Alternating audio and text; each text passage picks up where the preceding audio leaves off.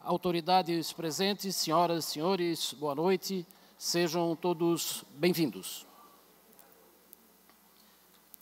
Nos termos do regimento interno do Poder Legislativo catarinense, estamos dando início a esta audiência pública, convocada pela Comissão de Prevenção e Combate às Drogas da Assembleia Legislativa de Santa Catarina, atendendo o requerimento do excelentíssimo senhor deputado estadual Ivan Nates. Esta audiência tem por objetivo debater o, pro, o, projeto de lei número 085 de 2022, que cria o Programa Estadual Saúde Sem Drogas. De acordo com o requerimento da audiência, o uso abusivo de substâncias entre os moradores de rua está diretamente ligado a questões de saúde pública, incluindo a propagação de doenças infecciosas e o comprometimento da qualidade de vida dessas pessoas. Dito isso, convidamos então para compor a mesa de abertura desta audiência as seguintes autoridades. Excelentíssimo senhor presidente da Comissão de Prevenção e Combate às Drogas da Assembleia Legislativa do Estado de Santa Catarina, deputado Lucas Neves.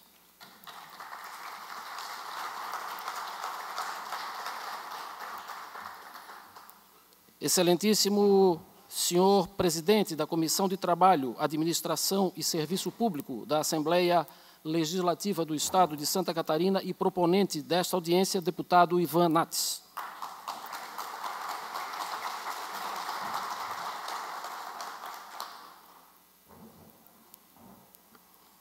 Excelentíssimo senhor secretário de Estado da Segurança Pública do Estado de Santa Catarina, deputado Carlos Henrique de Lima, Sargento Lima.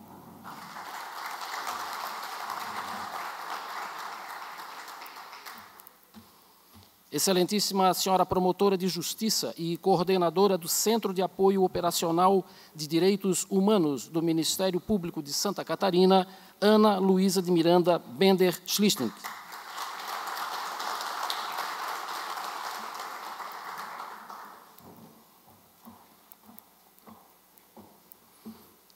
Senhor Secretário de Assistência Social, Leandro Lima, neste ato representando o prefeito do município de Florianópolis, Topázio Silveira Neto.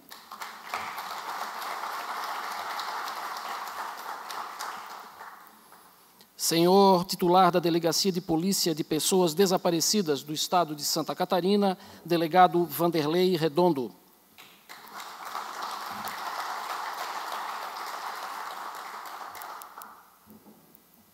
Senhora Presidente da Comissão de Direito da Saúde, Janaína Leinart Palma, neste ato representando a Presidente da Ordem dos Advogados do Brasil, seccional de Santa Catarina, Cláudia da Silva Prudêncio.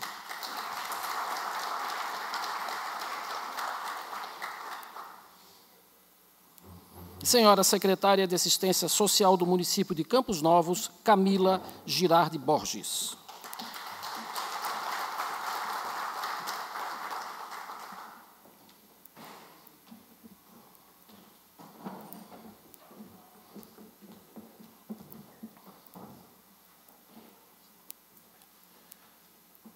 Os componentes dessa mesa podem tomar assento para darmos continuidade. Convidamos também para compor a mesa o excelentíssimo senhor deputado estadual Maurício Peixe.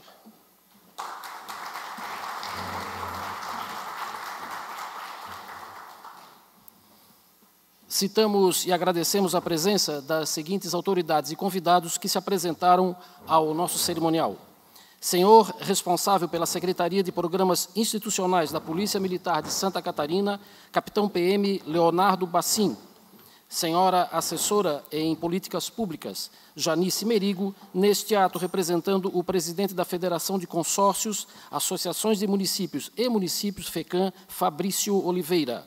Senhor presidente do Conselho Estadual de Entorpecentes, Fernando Henrique da Silveira senhora secretária de Assistência Social do município de São João Batista, Gisele Marciana de Paula, senhora secretária de Assistência Social do município de Abelardo Luz, Cassiane dos Santos Nunes, senhora secretária de Assistência Social do município de Itapiranga, Simone Aparecida Felim, senhora secretária de Assistência Social do município de Lages, Cláudia Bassim, senhor secretário de Assistência Social do município de Santa Terezinha, Gilson Eliker, senhor vereador do município de Criciúma, Manuel Roseng da Silva, senhores vereadores do município de Ponte Alta, Daniel Ângelo Santos de Souza e Noel Oliveira de Jesus, senhores vereadores do município de Joinville, Brandel Júnior e William Tonesi, senhor vereador do município, perdão,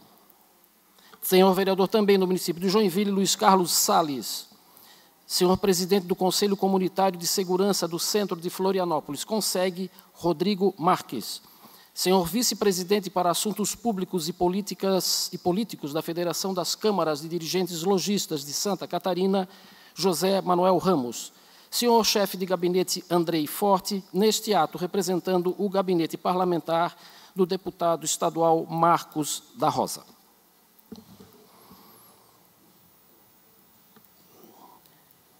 Este cerimonial convida o excelentíssimo senhor presidente da Comissão de Prevenção e Combate às Drogas da Assembleia Legislativa do Estado de Santa Catarina, deputado estadual Lucas Neves, para a abertura dos trabalhos, passando a condução da, da audiência a seguir para o excelentíssimo senhor deputado estadual Ivan Nats. Uma ótima audiência a todos, obrigado, boa noite.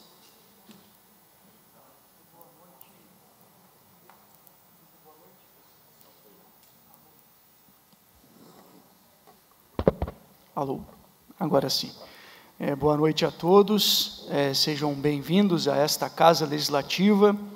Eu quero cumprimentar todos que compõem esta mesa, que hoje discute um assunto importante, a partir de um projeto de lei protocolado pelo deputado Ivan Nates, que foi o proponente desta audiência pública, junto à Comissão de Prevenção e Combate às Drogas, para que nós possamos secretário Sargento Lima, discutir um assunto é, que vem a cada semana, a cada dia, né, sendo debatido pela sociedade, tem gerado medo nas pessoas por conta dos casos que envolvem é, moradores em situação de rua, dependentes químicos e os casos de violência. Semana passada nós tivemos um caso muito grave né, envolvendo é, morador de rua, então quase toda semana a gente tem algum fato que chama atenção. E certamente essa discussão em torno do projeto do deputado Ivan, ela é fundamental para que a gente possa encontrar um caminho. Diariamente nós nos deparamos com pessoas, pais e mães que buscam de alguma maneira fazer uma intervenção, fazer um internamento de um filho que às vezes está em situação de drogadição. A gente sabe que não existe solução simples para um problema complexo como esse. Evidente que nós temos que trabalhar em várias frentes. Hoje cedo Lá na cidade de Lages, nós fizemos é, o início de mais um circuito de palestras em uma escola, lotamos um auditório com quase mil estudantes, é, juntamente com os policiais que compõem esta comissão, que são proerdianos, nós fizemos uma série de palestras hoje na cidade, e eu estive lá justamente para conscientizar. E quando a gente se depara com esse problema, a gente sabe a importância de, não só na prevenção, mas a questão do combate, a questão é, do tratamento é fundamental. É, então, que bom que a gente pode hoje se reunir aqui. Nós temos pessoas de, de é, várias, vários municípios, de várias frentes, que certamente vão contribuir nesse processo de discussão é, de um projeto muito bem elaborado pelo deputado Ivan, por toda a sua equipe, que vem sendo aprimorado nesta casa é, durante a sua tramitação. Então, que tenhamos todos uma excelente audiência pública e eu passo a condição ao proponente, deputado Ivan Nates. Obrigado.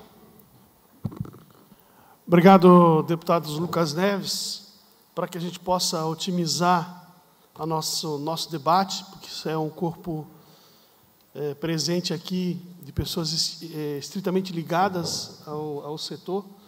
Então, eu vou fazer a saudação dos membros da mesa de uma única de uma única vez, para que não possamos, não precisemos a cada um, né, fazer o, a saudação. Então, mais uma vez agradeço a presença do deputado Lucas Neves, do deputado Maurício Peixe, da secretária de Assistência Social do município de Campos Novos, que aqui representa todas as secretarias de Assistência Social, Camila Borges, da presidente da Comissão de Direitos da Saúde, Jana, da, da Ordem dos Advogados do Brasil, a Janaína Palma, nesse ato representando a nossa querida presidente da OAB, guerreira, lutadora, em defesa da nossa classe dos advogados, leve, leve, leve a doutora Janaína, meu abraço, a doutora Cláudia Prudêncio e o meu reconhecimento como advogado pelo exercício extraordinário que ela faz em defesa da nossa categoria.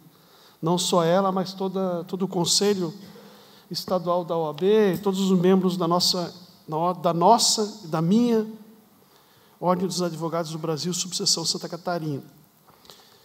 A OAB tem feito um trabalho extraordinário. Sempre que a gente tem uma pauta aqui em debate na Assembleia Legislativa que, que tem referência com o direito das pessoas, o direito do cidadão, a OAB sempre se faz presente. Eu quero agradecer ao nosso querido deputado delegado Redondo, ele que é uma pessoa extremamente conhecida aqui de Florianópolis, sujeito extremamente comprometido com a pauta também o, o secretário de Assistência Social, né, Leandro Lima, nesse ato representando o prefeito Topázio, o grande prefeito Topázio da capital, que é da capital que vive a maior experiência da, da, de moradores de rua do estado de Santa Catarina. A, senhora, a excelentíssima promotora de justiça, Ana Luísa Bender, a presença do Ministério Público aqui engrandece o nosso, o nosso trabalho o excelentíssimo secretário de Segurança Pública, meu amigo particular, deputado Carlos Henrique de Lima, nosso querido Sargento Lima, grande secretário de Segurança Pública, o, e, por fim, é, todos vocês, que de uma forma ou de outra estão aqui para debater um tema extremamente importante, que é o, principalmente o combate à drogadição e a questão da saúde mental. Nós temos em paralelo o combate à drogadição e a recuperação da saúde mental numa mesma linha, no que concerne aos moradores de rua. Uma parte desses moradores, a gente sabe, são moradores que têm condição social prejudicada, ou seja, pessoas que estão vivendo na rua por uma questão social, ou que perderam emprego, casa, família. A gente conhece muitas pessoas, eu conheço pessoas que vivem na rua por essa condição não tem nenhuma relação com álcool, com droga, mas nós temos um grande número de pessoas que vivem na rua em decorrência da drogadição. E uh, eu vou mostrar alguns dados para vocês, antes de efetivamente falar sobre, sobre o nosso tema. Se me permite, vou apresentar o nosso cronograma de trabalho. Eu não sei. Se o pessoal senta ali para ver, ou a gente faz a mesa para apresentação. Consegue ver, todos conseguem ver aqui? Ou preferem sentar lá, também não tem problema nenhum. Né? Você pode, quem quiser sentar, quem quiser tá bom? Tá bom aqui? Tá. É sem. O pessoal do protocolo não gosta muito, mas é sem protocolo. Muito bem. Uh, senhores, o Programa de Geral de Moradores em Situação de Rua e, eu, e o problema de dependência química em Santa Catarina é o objetivo do nosso debate aqui na Assembleia. E eu queria mostrar para vocês alguns levantamentos que nós tivemos para dar início ao nosso bate-papo aqui. Opa, estou com um negócio que muda aqui na mão. Então eu trouxe um, dados, e a respeito dos dados, eu já queria fazer uma observação. É muito difícil você conseguir dados. Não existe no estado de Santa Catarina um local onde se possa colher os dados. Embora a lei federal estabeleça que os estados têm a obrigação de colher os dados da dependência química e dos moradores de rua e, na, na, política, na, no combate à política da drogadição no país, os dados ainda são muito raros. É muito difícil você conquistar, você conquistar os dados, os dados. Mas em 2019, ou seja, antes da pandemia, nós tínhamos catalogados 3.600 pessoas vivendo nas ruas. Isso em 2019. 3.640 pessoas vivendo nas ruas. Dessas pessoas, uma grande concentração em Florianópolis. Praticamente um terço da população de rua, 956, em 2019, viviam aqui em Florianópolis. Depois vinha o município de Itajaí, com 301 moradores de rua, Joinville, em que, embora sendo a maior cidade de Santa Catarina, tem aí um terço dos moradores de rua da capital. Blumenau, 196 e Lages, com 182. Então, depois nós vamos disponibilizar esses números para que vocês é, é, possam ter esses dados o, com mais precisão. E desses moradores de rua, aquela fatia de azul mais claro é de, de, de, de homens e a outra de mulheres. Então nós podemos ver que é uma grande concentração de masculinos, que são os moradores de rua uh, no estado de Santa Catarina. E os dados uh, que nós escolhemos também são de que muitos desses moradores de rua são pessoas que vêm de outros, de outros países. Nós temos moradores de rua da Venezuela, do Uruguai, da Argentina, do Paraguai, do Haiti, da Bolívia, do Chile, República Dominicana, El Salvador, Peru, Serra Leoa. Foram pessoas que foram catalogadas, que não são brasileiros, que vivem na rua aqui no estado de Santa Catarina. Portanto, tem, uma, tem quase uma, uma seleção internacional né, de moradores de rua no nosso estado. E agora vem os números que vão efetivamente chamar bastante a nossa atenção. Em 2023, uh, que é o, é o, número mais, uh, mais uh, atualizado de moradores de rua em Santa Catarina, nós já passamos a ter 9.971 pessoas vivendo em situação de rua no Estado. Então, significa que nós tivemos um crescimento de 6 mil pessoas de 2019 para 2023. Em cerca de quatro anos, a população de rua aumentou 6 mil pessoas em Santa Catarina.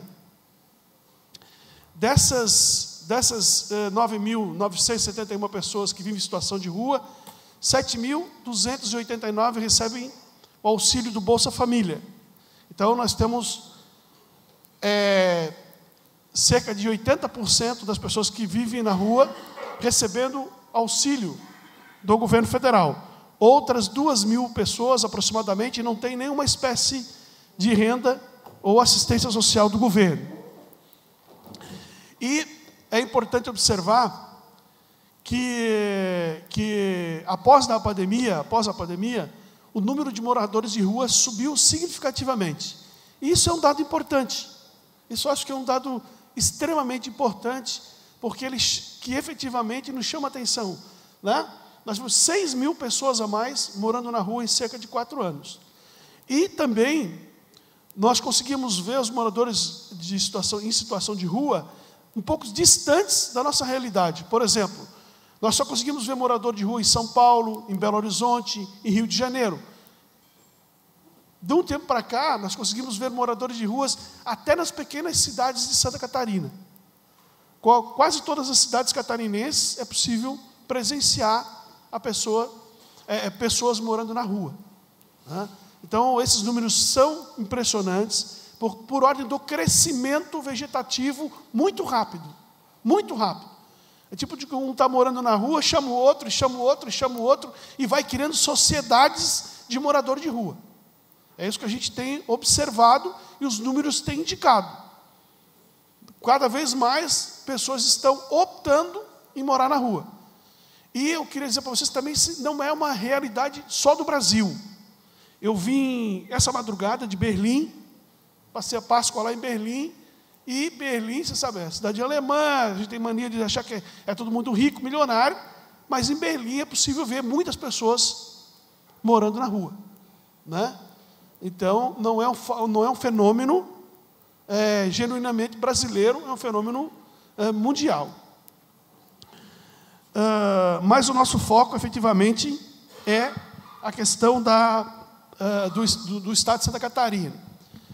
E aí, nós fizemos um levantamento para descobrir como é que é a estrutura, porque a lei federal do combate à drogadição, ela determina, determina os critérios, os investimentos, eh, ela, ela estabelece a política pública de combate à drogadição, e ela estabelece critérios, enfim, todos os objetivos é, é, é, fundamentais para que a, o combate à drogadição não seja apenas letra da lei, mas seja uma realidade.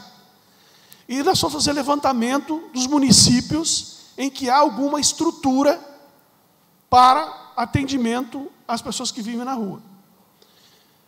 Uh, três municípios de Santa Catarina apresentam acolhimento em república. Então, é possível encontrar acolhimento em república em três municípios catarinenses. O município que desenvolve trabalho de abordagem social, o número já cresce significativamente. Dos 295 municípios de Santa Catarina, 114 municípios possuem abordagem social. Ou seja, aquele pessoal que vai, conversa né, com o morador de rua, tenta descobrir de onde ele veio, se efetivamente pode dar alguma atenção para ele, se ele precisa de algum recurso para voltar para a cidade, se ele deseja recolocar no mercado de trabalho. O acolhimento social, vocês sabem, vocês são profissionais da área, é, a abordagem social é aquela que faz o levantamento, que faz a conversa, que faz a, a apresentação da estrutura que o município tem para poder atender cada uma dessas pessoas. E é, apenas quatro municípios do estado possuem restaurante popular para dar atenção a, aos moradores de rua. E Centro Pop, desses, é, desses municípios, nove municípios possuem é, alguma espécie de atendimento a moradores de rua através do Centro Pop.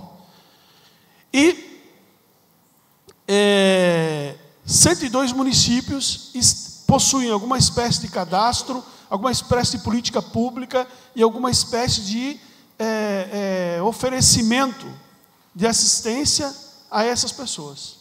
Então, nós temos o deputado é, é Lima e deputado Peixe, nós temos dos 295 municípios, apenas 102 municípios que, atendem, que, que, oferecem alguma, alguma, alguma estrutura, né? uh, para moradores de rua. Então, nós temos uma, uma, uma, deficiência aí de quase 230 municípios, 250 municípios que não têm nenhuma espécie de, de atenção aos moradores de rua. E a cidade com maior dados, com os dados mais atualizados e com os dados que, que podem ser efetivamente constatados, conferidos, é a cidade que tem mais, vamos dizer assim, preocupação com o tema, não é porque o secretário está aqui, mas é a cidade que tem mais é, é, é, identificação com o tema, onde a gente pode colher dados com mais precisão, é a cidade de Florianópolis. A cidade de Florianópolis, como vocês podem ver aí, tem os dados praticamente exatos dos moradores de rua. Porque é muito, é muito, sabe, os dados não são, não são exatos, porque hoje você tem um grupo morando na rua, amanhã eles resolvem ir para Criciúma, vem o grupo de Criciúma para cá, o grupo daqui vai para Joinville, é, o grupo de Joinville vem para cá, eles são nômades, mas é possível fazer uma espécie de levantamento. Então, nós, nós tínhamos catalogados aqui em Florianópolis, eu quero mais uma vez parabenizar a Prefeitura de Florianópolis por esse trabalho, 729 moradores de rua homens e 189 moradores de rua mulher aqui em Florianópolis, sendo 968 no total. E é, nós também conseguimos identificar, diante dos dados que nós escolhemos junto à Secretaria da Assistência Social da Prefeitura de Florianópolis, que é, 123 moradores de rua são aqui de Florianópolis. São pessoas que efetivamente escolheram morar na rua, são filhos de Florianópolis. Dos 800, 123 são filhos aqui da cidade, que deixaram de morar com seus pais, os lares onde eles têm, e optaram em morar na rua. É um número considerável, secretário Lima. É um número, número é, é, é, é, elevado de pessoas que deixaram o seu lar e optaram morar na rua. E de outras cidades do estado são 178. E, ou seja, são catarinenses. Totalizam aqui os catarinenses cerca de, de 190, 192 moradores de rua são de, de Florianópolis ou de Santa Catarina. E a grande maioria, 667, são moradores de outros estados da federação. Pessoas que não têm nenhuma relação com Florianópolis, nem com Santa Catarina.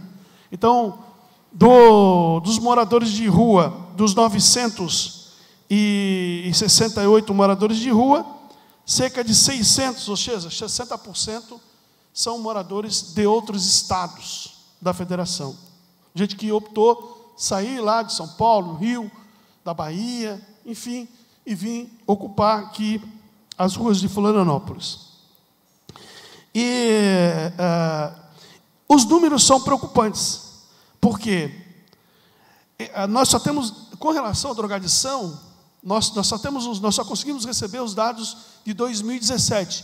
Por isso que eu, essa audiência é tão importante, porque nós precisamos, depois nós vamos falar isso na conclusão, nós precisamos ter os dados, nós precisamos saber o que está acontecendo, nós precisamos ter pesquisa, nós precisamos ter gente na rua, nós precisamos ter números, nós precisamos ter informação.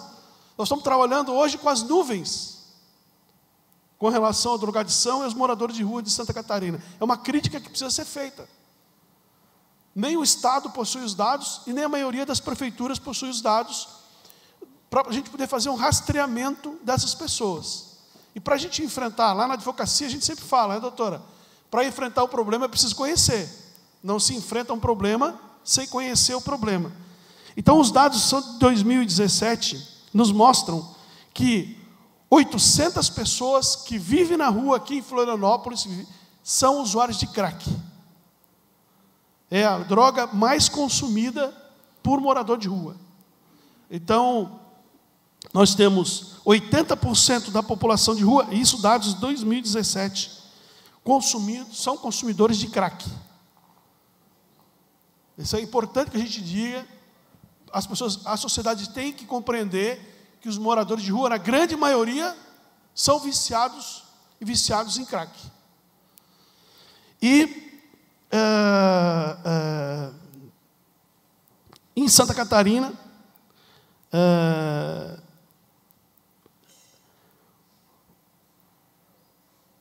cento e cinquenta e cinco municípios, né, com a maior população, possuem moradores de rua e usuários de crack.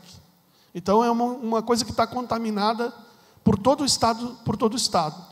Não há, não há privilégio no que concerne a moradores de rua. O pessoal aqui tá, veio lá de, de é, Ponte Serrada, né? Que é, o pessoal tá, veio de Ponte Serrada, não foi? E daqui veio de Ponte Alta.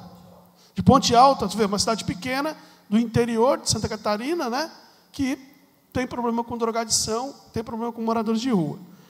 Então, é, os números são verdadeiramente assustadores no que concerne a desatualização dos dados, isso é grave porque a lei federal determina que os dados sejam atualizados.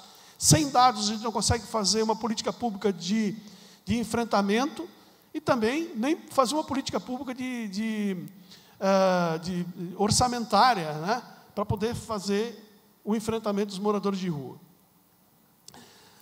Uh, o combate à drogadição em Santa Catarina consiste praticamente nas comunidades terapêuticas, não há uma rede estadual de não é uma rede estadual preparada para a internação, para o tratamento, para a recuperação. O, a rede estadual se resume a poucas casas, nós vamos ver mais à frente. Não há efetivamente uma estrutura no estado de Santa Catarina que diga essa estrutura é pronta para enfrentar um morador de rua. Por quê?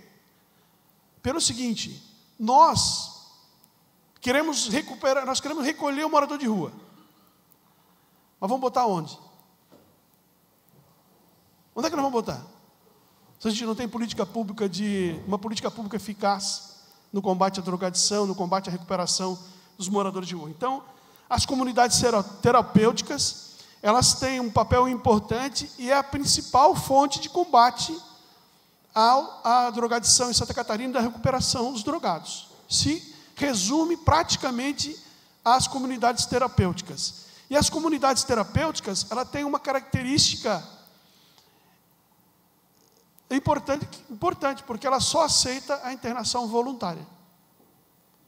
Só, só voluntário. As comunidades terapêuticas têm convênio com o Estado de Santa Catarina, só aceitam o internado se for voluntário. Involuntário não aceita em casas de, de, de, de na estrutura de casas terapêuticas do Estado. E os números das, das unidades terapêuticas de Santa Catarina são de 87 unidades cadastradas, aptas a receber convênio com os municípios e com o Estado. 87 é, é, é, comunidades terapêuticas. Nós tentamos descobrir quantas vagas, doutora, essas 87 casas oferecem. Não foi possível. Nós não sabemos quantas vagas essas comunidades terapêuticas têm à disposição. Nós sabemos que tem 87 cadastradas, mas não sabemos quantas vagas estão disponíveis para esse público de 10 mil pessoas que estão na rua. Então, isso é uma, uma, uma situação bastante preocupante, porque, volto a dizer, nós queremos fazer uma, uma política pública de combate à drogadição sem dados. Né? E eu preciso mais uma vez falar de Florianópolis, porque Florianópolis, ela, ela, Florianópolis, ela é a única cidade do estado de Santa Catarina que criou, o Chapecó também, tem agora um programa paralelo, mas Florianópolis é a única cidade de Santa Catarina que, através da Lei Municipal 1944-2004, está utilizando o Instituto de Pesquisas, né, o Instituto Psiquiátrico, de referência para encaminhar pacientes. O Instituto Psiquiátrico é o nome que se deu agora à Colônia Santana, né? o, no, o novo nome da, da para quem já tem 60 anos como eu, conheceu como a Casa a Colônia Santana. Então, a Prefeitura de Florianópolis é a cidade que tem um convênio pré-estabelecido, ou seja, se ela faz o recolhimento da internação involuntária, ela tem um convênio, ela tem um, pré, um convênio pré-estabelecido com o Instituto Psiquiátrico, IPQ. Os demais municípios, isso não foi detectado. Né? Não tem, a gente não encontrou outros convênios junto com o Instituto Psiquiátrico de outros municípios aqui do Estado. E, passando bem sem. Bem, vou, vou, tentar acelerar um pouquinho mais. E o, o, o Instituto Psiquiátrico de Santa Catarina, ele, é, ele tem parceria com o, com o Hospital Universitário, em que as pessoas são internadas por problemas de drogadição ou por problemas de saúde mental, que o médico entenda que ele deva ser internado para recuperação, ou porque por dois motivos, ou porque não tem mais gerenciamento sobre si, ou porque coloca em risco a sociedade. São as duas condições do internamento que, a, que o Instituto Psiquiátrico aceita. Ou a pessoa não tem mais condição de se gerenciar, ou ela coloca em risco a sociedade. E uh, uh, nós também constatamos um outro município, que é o município de Chapecó, que apresenta um programa de internação involuntária com resultados práticos uh, que podem ser é, observados. A, a, a, cidade de Chapecó, ela estabeleceu convênio com o, os hospitais regionais da cidade, que fazem tratamento de saúde mental. Então, ela, ela, ela tá, tem conquistado algumas vagas. Nós não conseguimos descobrir quantas vagas estão disponíveis através desses convênios. Mas os dois, os dois únicos municípios que, que se conseguiu, pode ser que tenha, mas que a gente conseguiu dados, foram desses dois municípios. Os resultados, me parecem, são é, é, é, é satisfatórios. E aqui um outro dado extremamente importante. Para quem quer, para quem quer se internar em Santa Catarina. Particular. Particular. Aqui em Florianópolis nós temos o Instituto São José, que tem um resultado muito bom para atender rico. Pessoa que tem dinheiro. Filho de rico tem casa para internar. Então, porque quem, só pode, quem pode pagar uma consulta, 650 reais lá. E 10 dias, 9.390 reais. Para ficar 10 dias lá no, no Instituto São José, esse é o custo. Então, vocês podem ver que o tratamento psiquiátrico e o combate à drogadição é uma coisa cara, não é barato. não, não se encontra tratamento particular a, a, a, de qualidade com preço inferior a isso, 10 mil reais por mês. Por, por mês não, por 10 dias. Né? Uh, um outro dado importantíssimo é, é com relação ao que está acontecendo nas câmaras municipais. E eu quero chamar a atenção dos vereadores, das câmaras municipais. Todo dia que eu abro o jornal, eu vejo uma Câmara de Vereador aprovando uma lei da internação involuntária.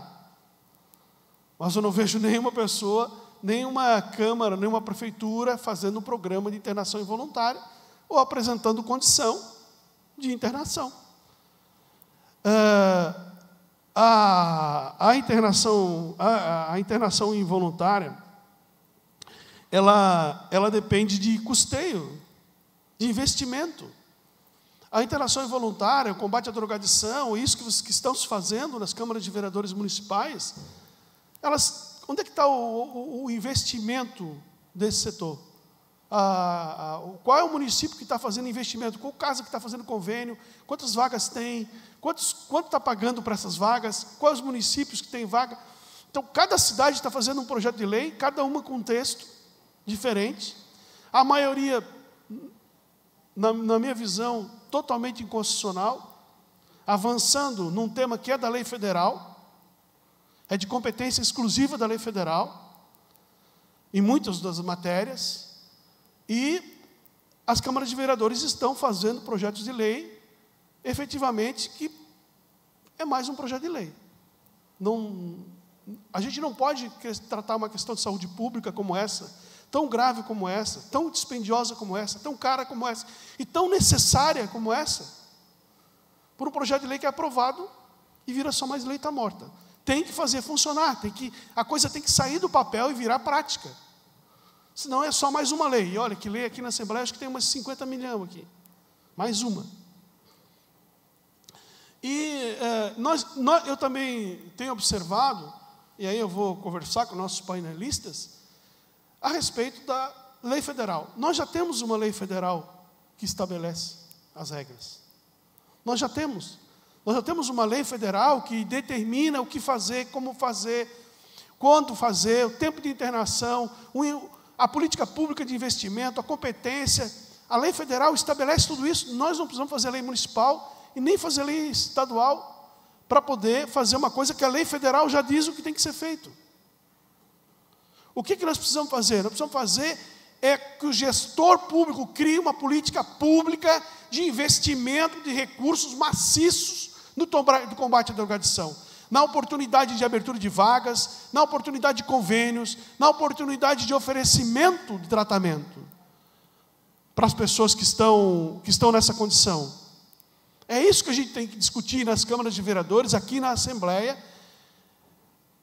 junto com os municípios, quanto dinheiro o Estado vai botar nisso. Porque senão é mais, só mais uma lei. A lei já tem. Não precisa fazer lei nas câmaras municipais para fazer programa de internação voluntária. Já tem a lei federal. É só obrigar o município, o Estado, a cumprir a lei federal. É, é, é, e, ela, ela determina, ela separa muito bem o que é lei, o que é internação involuntária, o que é internação compulsória. E ela, ela é bem clara, ela determina todas as regras específicas com relação a isso.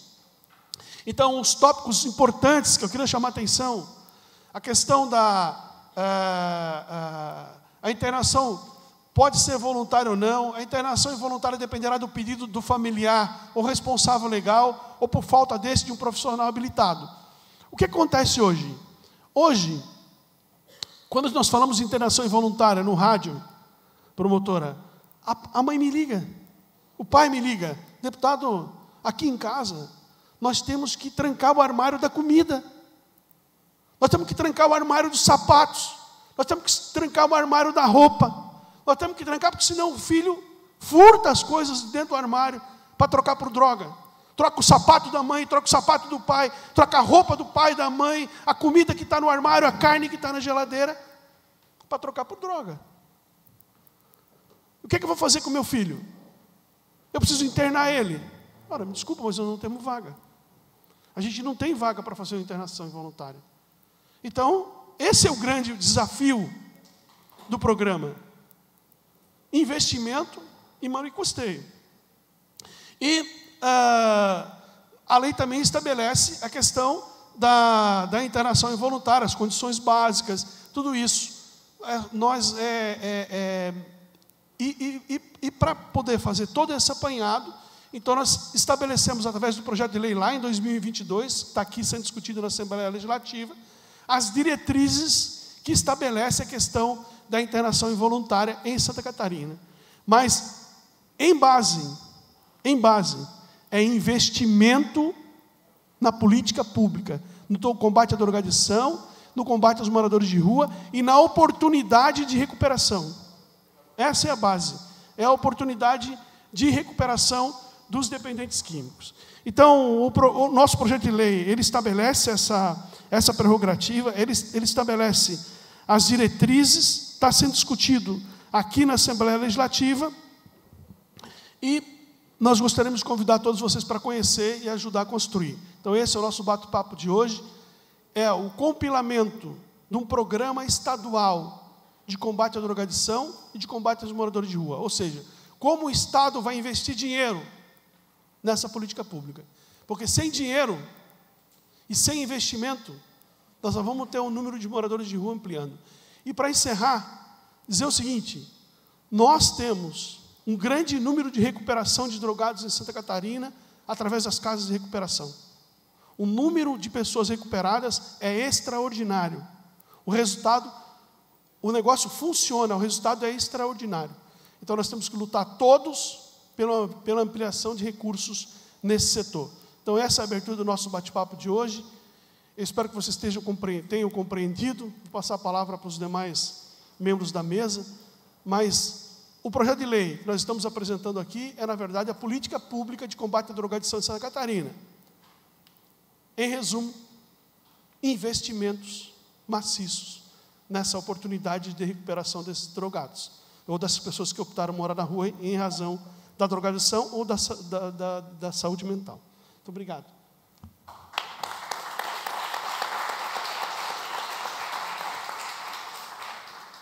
Desculpa se eu me alonguei, mas. Né? Posso passar a palavra? Eu passo a palavra para a doutora. Desculpa doutora Ana Luísa, para que ela faça uso da palavra. Pode fazer, pode fazer. Oi. Bom, boa noite a todas as pessoas aqui presentes. Quero agradecer ao deputado Ivan e, em seu nome, estender os cumprimentos a todas as pessoas que me acompanham aqui nessa mesa e também cumprimentos de maneira especial todos que nos assistem. Bom, primeiramente eu gostaria de dizer que é uma satisfação para o Ministério Público de Santa Catarina estar nessa casa hoje, debatendo esse tema que é tão importante e tão caro também a nós do Ministério Público. E já inicio dizendo que as mesmas angústias que eu sei que têm sido compartilhadas por toda a sociedade também são angústias do Ministério Público. Sabemos que a situação das pessoas em situação de rua é realmente um um problema, um grave problema social, mas não entendemos que é um problema apenas de segurança pública.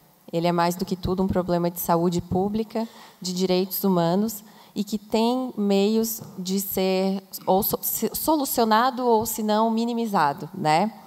É, eu concordo com o que o deputado disse a respeito do, da necessidade de investimentos. Essa realmente é a base de toda essa política pública mas, mais do que isso, nós precisamos de, de vontade política e de uma real compreensão a respeito da forma como nós podemos lidar com essa complexa realidade. Então, para nós do Ministério Público, a base dessa situação é fortalecimento da política pública.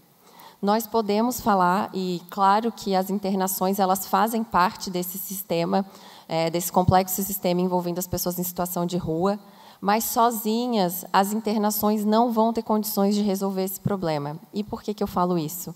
É, como o deputado disse, as internações no, no IPQ, por exemplo, que é o local onde, via de regra, tecnicamente essas pessoas é, deveriam ir, essas internações duram 20, 30 dias.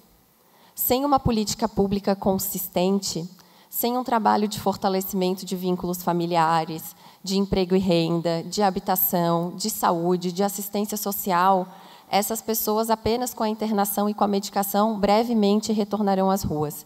E isso é um gasto de dinheiro público, porque na verdade nós estaremos é, buscando uma solução superficial para o problema. E como eu disse, ela é necessária em muitas situações, ela tem os seus critérios legais, mas sozinha ela não vai ter condições de mudar essa realidade. Como o deputado disse, nós temos nove centro-pops apenas num estado como Santa Catarina, que tem mais de 9 mil pessoas em situação de rua registradas. O Centro Pop, é, para os senhores que não souberem, é o equipamento socioassistencial que vai atender as pessoas em situação de rua, vai dar o suporte, vai fazer esse trabalho de fortalecimento de vínculos. Então, nós estamos aqui discutindo, com necessidade, repito, é, o investimento em internações e nós não estamos pensando no centro POP, que é a base socioassistencial para que as pessoas consigam sair das ruas. Falando agora dos equipamentos da saúde, a mesma coisa em relação aos consultórios de rua, aos CAPs. Quantos municípios que têm essa política pública fragilizada? E aí a sociedade se vê diante daquela situação em que o aumento do número das pessoas em situação de rua é progressivo, mas as próprias pessoas em situação de rua também se vê numa situação em que não tem para onde correr. Né? Então, a gente acaba tentando solucionar o problema no momento em que já chegou na internação. Mas será que nós pensamos no fato de que, se essa política pública estivesse fortalecida, nós não precisaríamos estar aqui discutindo tanto investimento em internação? Se essa política pública fosse efetiva, se os CREAs estivessem estruturados, se as cidades grandes tivessem o centro pop, se as cidades tivessem o consultório de rua, os CAPs de acordo com a necessidade de cada município, nós não estaríamos aqui falando de 9 mil pessoas em situação de rua. E um dado que eu considero muito importante, eu peço licença para os senhores, pelo diagnóstico do, do Ministério de, de Direitos Humanos, eles conseguiram apurar as causas pelas quais as pessoas chegaram na rua. 4.009 pessoas, claro, esses números vão se atualizando, mas 4.009 pessoas, das pessoas que estão em situação de rua em Santa Catarina, chegaram às ruas por problemas familiares. 4.715 por desemprego. E só depois, alcoolismo e droga, 2.965 pessoas. O que, que eu quero dizer com isso? O deputado trouxe o dado, que eu confesso que eu não conhecia, de que 80% das pessoas em situação de rua, por exemplo, em Florianópolis, hoje fazem uso de droga. Mas muitas dessas pessoas não chegaram às ruas por causa disso. E por que, que isso é importante? É importante porque talvez, se a gente conseguir fortalecer os vínculos familiares, dar condições de emprego e renda, a gente pode conseguir resolver o problema de grande parcela da população. E sabemos que o tratamento para o uso de álcool e drogas ele é fundamental nesse processo, mas muita gente conseguiria ser atendida no CAPS. Né? Poderia ter o suporte ali no, no, no consultório de rua, então a gente evitaria esse problema que hoje é tão grande e que vai realmente a cada vez crescer. E nós vemos algumas situações que acabam extrapolando e que só estão servindo para violar, violar os direitos humanos e fazer um, é, trazer um gasto público que sozinho não vai ter força para resolver essa problemática. Então, eu parabenizo a Lesc, deputado Ivan, pela preocupação com esse tema. Eu realmente acredito que esse é um tema de todos nós. Isso realmente precisa preocupar a sociedade, mas acho que precisamos estar atentos para não buscar solução, soluções mágicas para algo que é tão sensível, tão delicado e que extrapola muito o que nós podemos considerar um, um problema de segurança pública. É isso e, mais uma vez, obrigada pela atenção.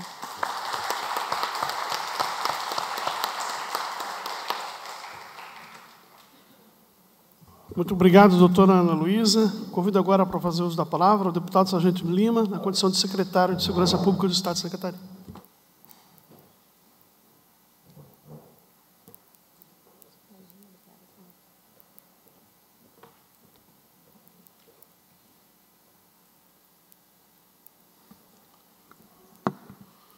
Se me permite, deputado Ivan, vou matar um pouco da saudade que eu estou da tribuna e já aproveitar para cumprimentar o eminente deputado Ivan Nats, esse deputado aguerrido que nós temos aqui na Assembleia Legislativa, esse advogado atuante, militante, esse amigo, esse parceiro, esse pai de família, é, que eu aprendi a conhecer aqui na Assembleia valorizar muito o seu trabalho. Obrigado e com muito orgulho dizer que faz parte das, da mesma fileira né, do nosso partido. Então, fico muito contente de ver esse tipo de proposição sendo feita. Em nome de Vossa Excelência, cumprimento toda a mesa para buscar ser breve. Mas quero cumprimentar também cada um dos senhores que dispensaram do seu tempo, né, os senhores vereadores da minha cidade, da cidade de Joinville, é, e de demais cidades que aqui vieram. Um assunto que eu tenho muito conforto em falar dele e muito pouco. Eu me sinto desconfortável em falar desse assunto. Comissão de Prevenção e Combate às Drogas. Esse é o nome dessa comissão, de prevenção e de combate às drogas. Gostaria de iniciar minha fala dizendo para cada um de vocês que eu posso afirmar com mais absoluta certeza que o traficante ele não está interessado na cor da sua pele e nem na pele do seu filho, se ele é, a pele é branca, se a pele é preta. Ele não está interessado se seu filho é de esquerda, se seu filho é de direita. Ele não está interessado se seu filho ele tem origem alemã, ou polonesa, ou africana, ou judaica. Ele está interessado no cliente dele. É um mercado milionário que pede para o mercado armamentício e de medicamentos no mundo. E já supera, inclusive, a indústria dos armamentos no mundo. Por dentro do território nacional passa 80% da droga consumida no mundo, da cocaína. E pasmem cada um de vocês que no Brasil não nasce um único pé de coca. Ele tem que passar por dentro do território nacional. Então o Brasil ele está no, na, no, no trajeto da exportação de cocaína. E essa indústria milionária, ele é uma indústria como qualquer outra como qualquer outro tipo de indústria. E ela vende um produto e o seu produto, é, quero dizer que nós temos aqui um representante do Clube Diretores Logistas do Estado de Santa Catarina, é um produto como qualquer outro. Ele não importa a cor, a etnia, a classe social do cliente.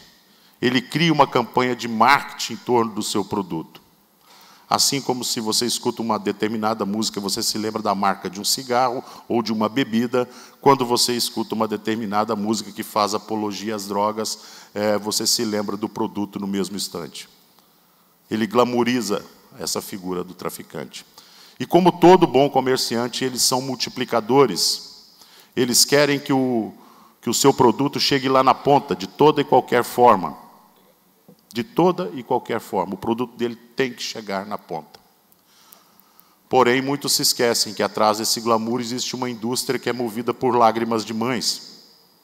É uma indústria do sofrimento, é uma indústria da dor, é uma indústria da pobreza, é uma indústria da prostituição infantil, é uma indústria da desgraça, é uma indústria da vergonha, é uma indústria da violência.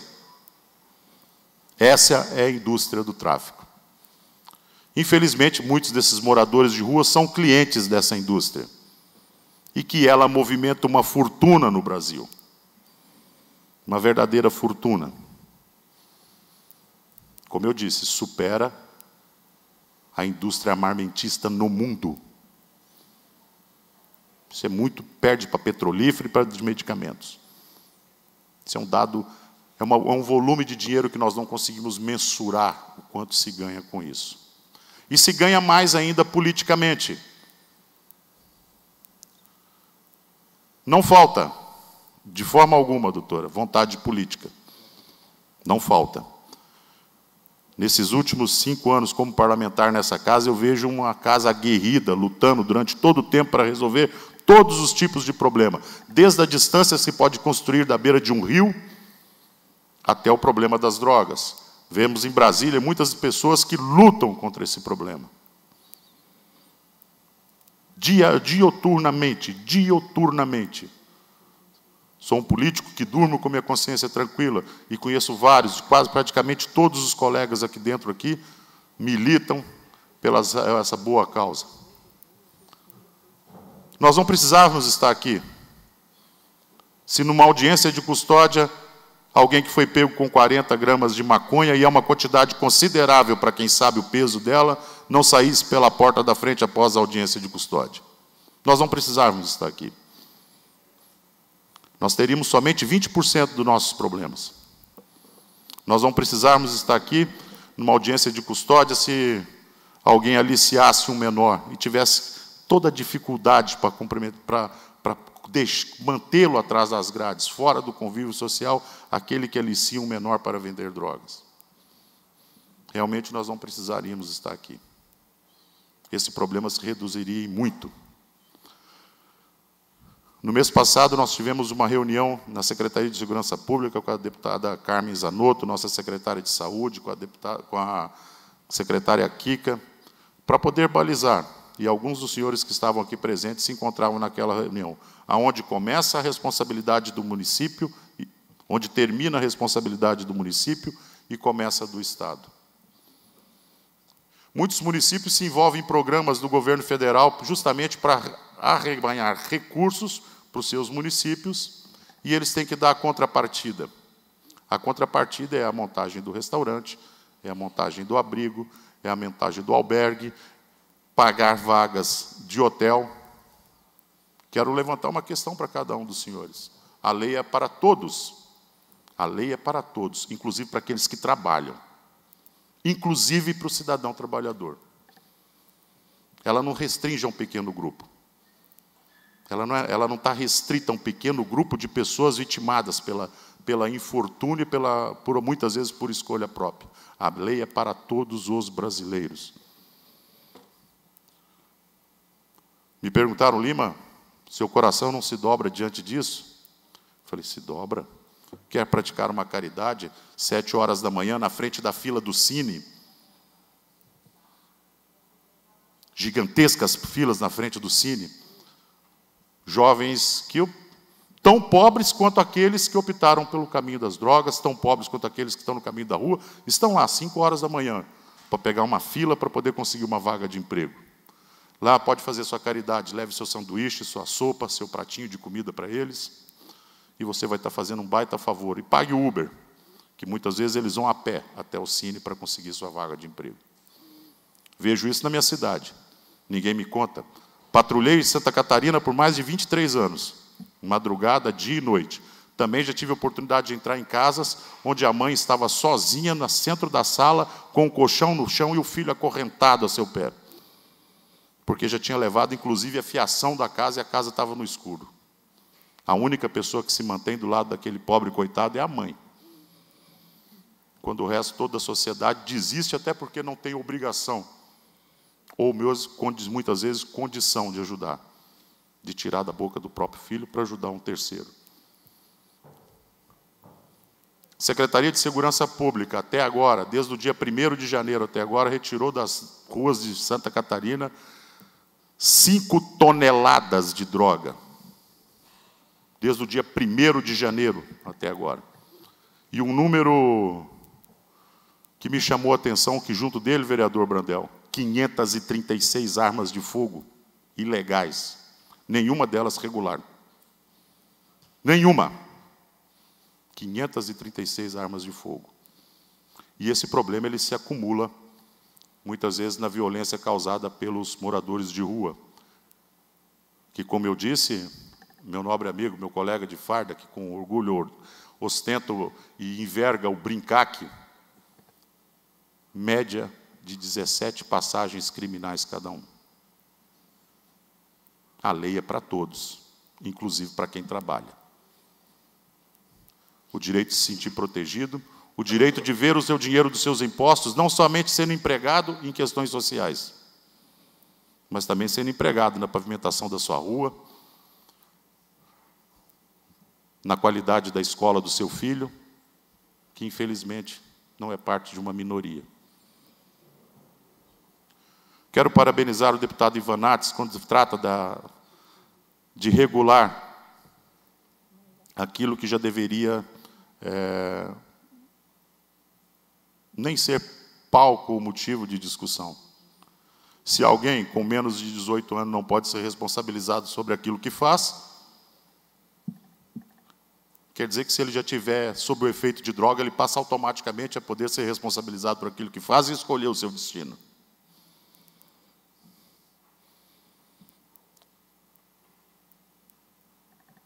Decisão essa superada pelo STF, inclusive nós vemos decisões do ministro Alexandre de Moraes hoje multando quem pratica ela. Nós estamos nos questionando como que é duro fazer segurança pública no estado de Santa Catarina.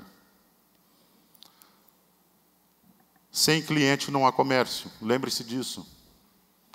Se alguém sofre com algum dependente químico, algum morador de rua, é porque alguém está ganhando dinheiro com isso. Nós fizemos um levantamento na secretaria sobre veículos que vêm de outro estado trazendo migrantes aqui para Santa Catarina. Eles estão fugindo de onde, deputado Ivanates?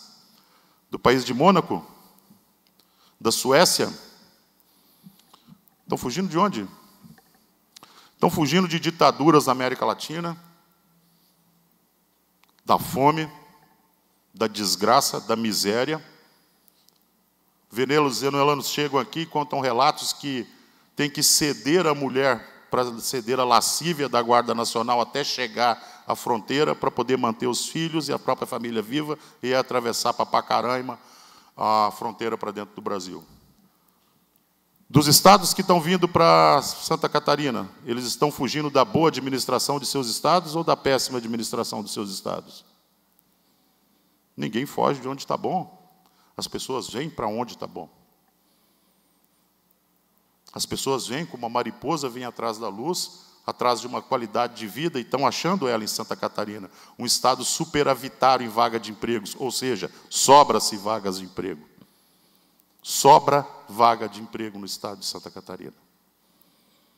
O que nos falta, infelizmente, é qualificação profissional, porque, como digo, nós não conseguimos preparar a tempo esses migrantes né, e muitas vezes o nosso próprio catarinense aqui para recebê-los. Fico à vontade de, de, de, expressar, como eu disse, é a minha opinião, né, e, muita, e todas elas aqui falo para vocês com a mais absoluta certeza fundamentada, onde não existe o consumidor, o vendedor morre de fome. Na questão do assistencialismo, ele tem que ser visto sim para aquela pessoa que realmente precisa para aquela pessoa que realmente precisa. Como eu digo, a desgraça pode se abater sobre a vida de qualquer um de nós a qualquer momento. Não podemos cuspir para cima. Ela pode bater na nossa porta. Mas nós temos que ser cautelosos e vigilantes durante todo o tempo. Principalmente com aquilo que pode nos conduzir para uma situação de pobreza, de desemprego, de déficit setorial dentro das várias passas que nós temos dentro do Estado, nós conseguimos observar isso. De cada 100 reais que nós mandamos para o governo federal, nós recebemos R$ 7,50 de volta. Sai caro para o catarinense ser brasileiro. Prestem atenção nessa frase. Sai caro para o catarinense ser brasileiro. E com esse parco dinheiro que nós conseguimos arrecadar aqui de impostos, que não existe outra fonte de arrecadação que não seja a coleta de impostos, não seja, não vem dinheiro de nenhum outro lugar. Não tem uma cornocópia ou uma fábrica de dinheiro atrás agronômica. Só vem dinheiro de imposto dos nossos, nós temos que saber onde colocar bem esse dinheiro. Então, nós temos apresentando, deputado Ivan Nates, muito em breve, um decreto que regulamenta o trânsito desses moradores de rua dentro do Estado, responsabilizando o município, que muitas vezes se engaja no programa federal para re receber é, benefícios e, na calada da noite, coloca aquela pessoa fragilizada, que vem do interior com problema de alcoolismo e, quando chega no grande centro, lhe é apresentado o crack e a cocaína e a porta de droga, a porta de entrada de todas as drogas que é a maconha. Obrigado por, por me convidar para vir aqui, deputado Ivanates. Fico muito feliz de participar de cada uma das suas reuniões, sempre são muito proveitosas, pelo menos para mim. Fico contente. Vamos, como eu disse, continuamos cautelosos e críticos do que é feito com o dinheiro dos nossos impostos. Críticos para onde ele está indo, o que está sendo feito com ele como ele está sendo empregado. A quem sustentamos? A quem pagamos caríssimo para resolver um problema que pode ser resolvido de forma muito mais barata, com algumas pequenas mudanças na nossa legislação, que são muito necessárias. Então, eu quero aqui aproveitar ainda para parabenizar o governador Jorginho Melo por ter participado, junto com os outros é, governadores do COSUD, por ter entregado essas importantes pautas que foram entregues a semana passada, que trata da melhor avaliação da audiência de custódia, da fundada suspeita durante a abordagem e da qualificadora do homicídio quando a mando de facção criminosa. Muito obrigado, uma boa noite a todos. Obrigado, Sargento Lima, sempre brilhante. É a certeza de que a segurança pública dos catarinenses está em muito boas mãos. É, convido para fazer uso da palavra a, a presidente da Comissão de Direito à Saúde, doutora Janaína Paulo.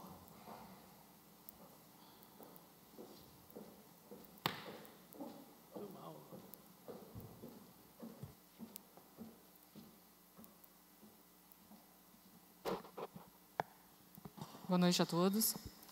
Cumprimento os membros da Assembleia Legislativa através do excelentíssimo deputado, proponente dessa audiência,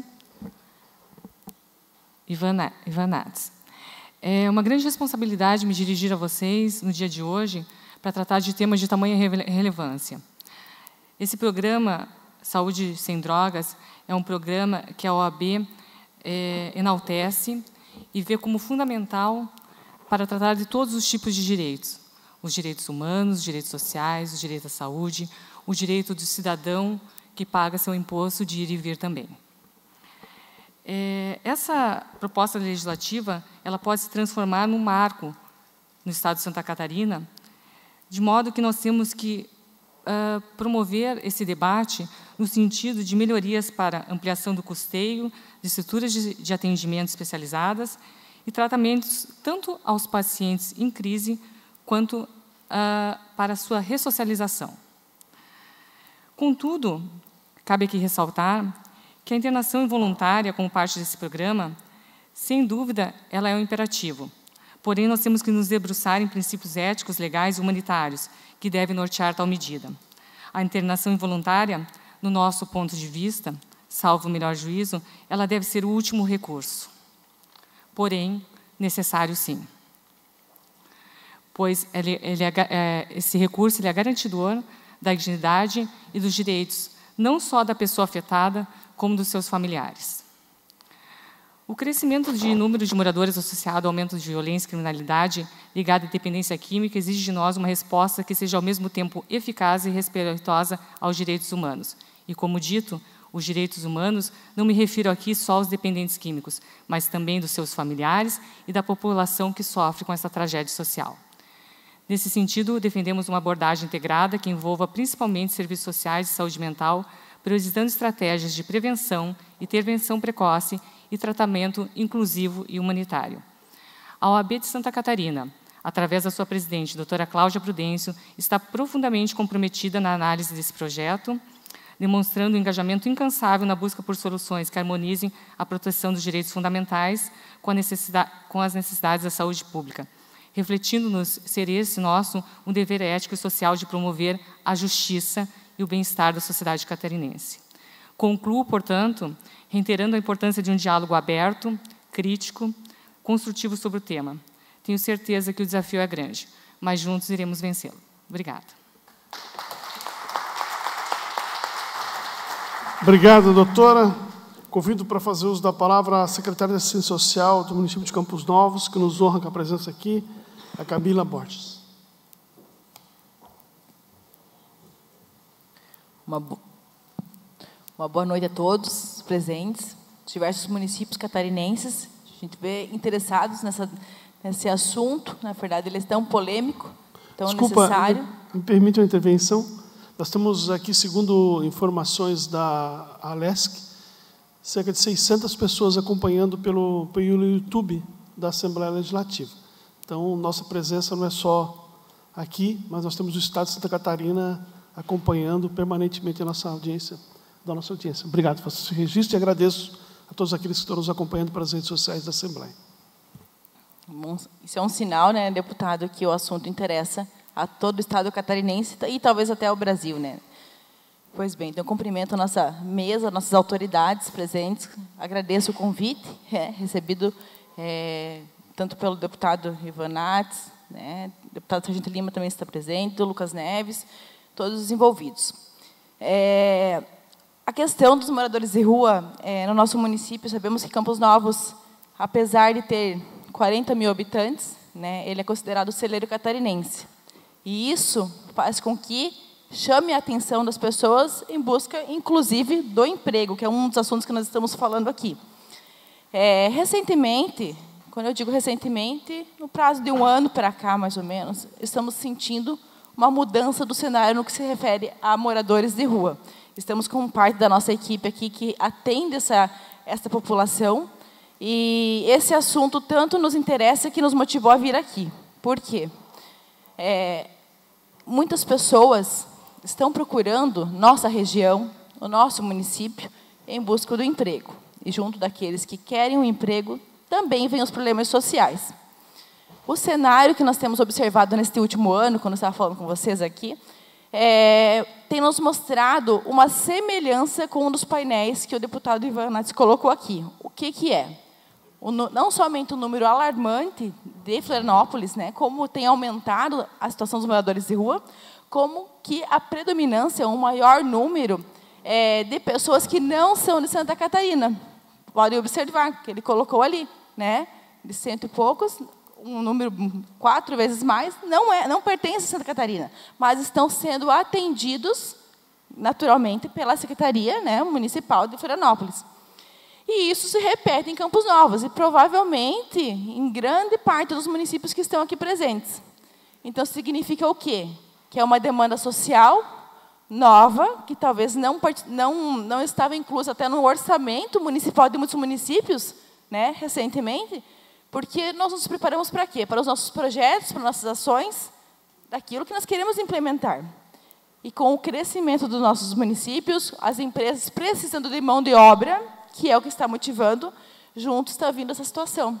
A drogadição ela é presente cada vez mais, e em menor proporção, claro que colocado ali, mas é o que está acontecendo. Então, junto disso, se nós precisamos dar uma saída para isso, dar o suporte a essa população, nós também precisamos ter um recurso da onde que vai vir. Se vai vir do Estado, que é o caminho natural, e em que proporção, né? Então, talvez, não sei, porque nós assim focamos muito lá na solução. Qual que é a solução? Porque o direito de ir e vir das pessoas nós não vamos inibir, não temos como impedir que as pessoas venham. E semelhante à fala do deputado Sargento Lima, secretário, é, é nós observamos a mesma, é, a mesma fala que, que, ele, que ele tem colocado ali, não entrando na polêmica de qual estado, né? mas os estados, a origem dessas pessoas que estão nos procurando, além de outros países, são exatamente pessoas que chegam para nós e contam a mesma história. Falta de emprego, falta de oportunidades, são do Nordeste e Norte do nosso país e vêm a Santa Catarina e a Campos Novos em busca de emprego em duas, três empresas que se destacam, fora outras que eles também procuram. É, por quê? Porque eles não têm mais nada a perder lá. Eles precisam alimentar a sua família, eles precisam um rumo. Então, é, é isso que está acontecendo. E eu acredito que nos municípios isso se repita. Né? Temos diversos secretários aqui que, tá, que eu percebo que estão acenando que, que é o que eles estão sentindo na pele.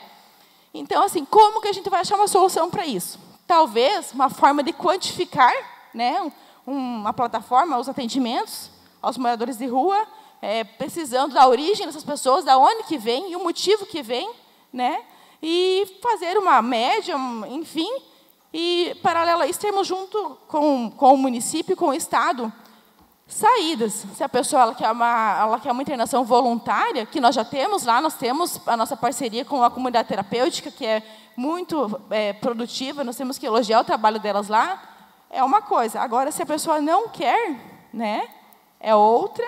E, se é o caso que é, cabe ao município é, encaminhar, seja em leitos particulares ou não, dentro dessa média de pessoas que a gente fez o levantamento anual, vira esse recurso. Talvez ali seria o caminho.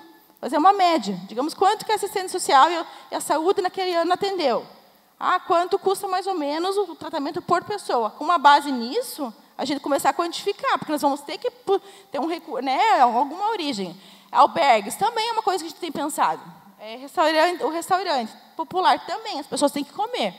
E hoje ele não existe conosco, mas o pedido de cesta básica só cresce. Então, nós temos que dar uma vazão para isso. Então, eu penso, né, deputado, que essa nossa intenção aqui é achar uma solução, né?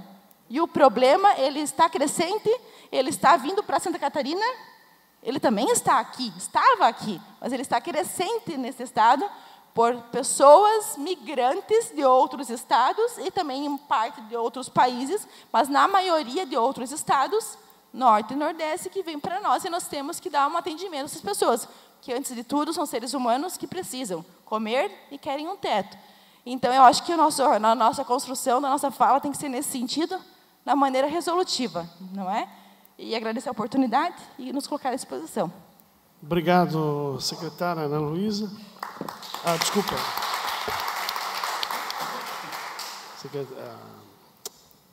A Camila Borges. É, antes de passar a palavra para o Leandro Lima, queria fazer uma reflexão com vocês, principalmente aqui que são de Florianópolis. Eu, quando vou caminhar ali na beira-mar na beira de manhã, eu, as pessoas estão indo para o trabalho, mas os moradores de rua estão indo dormir. Né?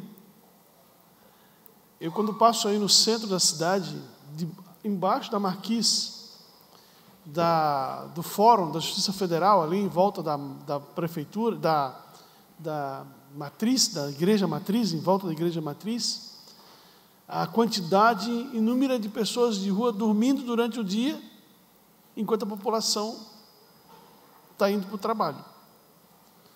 E isso parece uma coisa simples. Mas, doutora, isso causa na população um sentimento que é muito ruim. Porque o cidadão se vê como cumpridor das suas obrigações, cumprindo a sua obrigação de indo para o trabalho, de cumprir com, seu, com a sua função social, enquanto que o outro sujeito está vivendo naquela condição de rua, dormindo durante o dia, sendo alimentado muitas vezes sem fazer a contraprestação do trabalho. E, essa é uma realidade que eu, nós não podemos fechar os olhos para isso aí também. De, se de um lado nós temos os direitos humanos, nós temos as, tudo isso que a gente compreende muito bem, a doutora, a doutora falou muito bem, representante da OAB, nós temos toda essa, essa coisa da Constituição Federal que dá garantias, que vê aquela pessoa como uma condição de ser humano,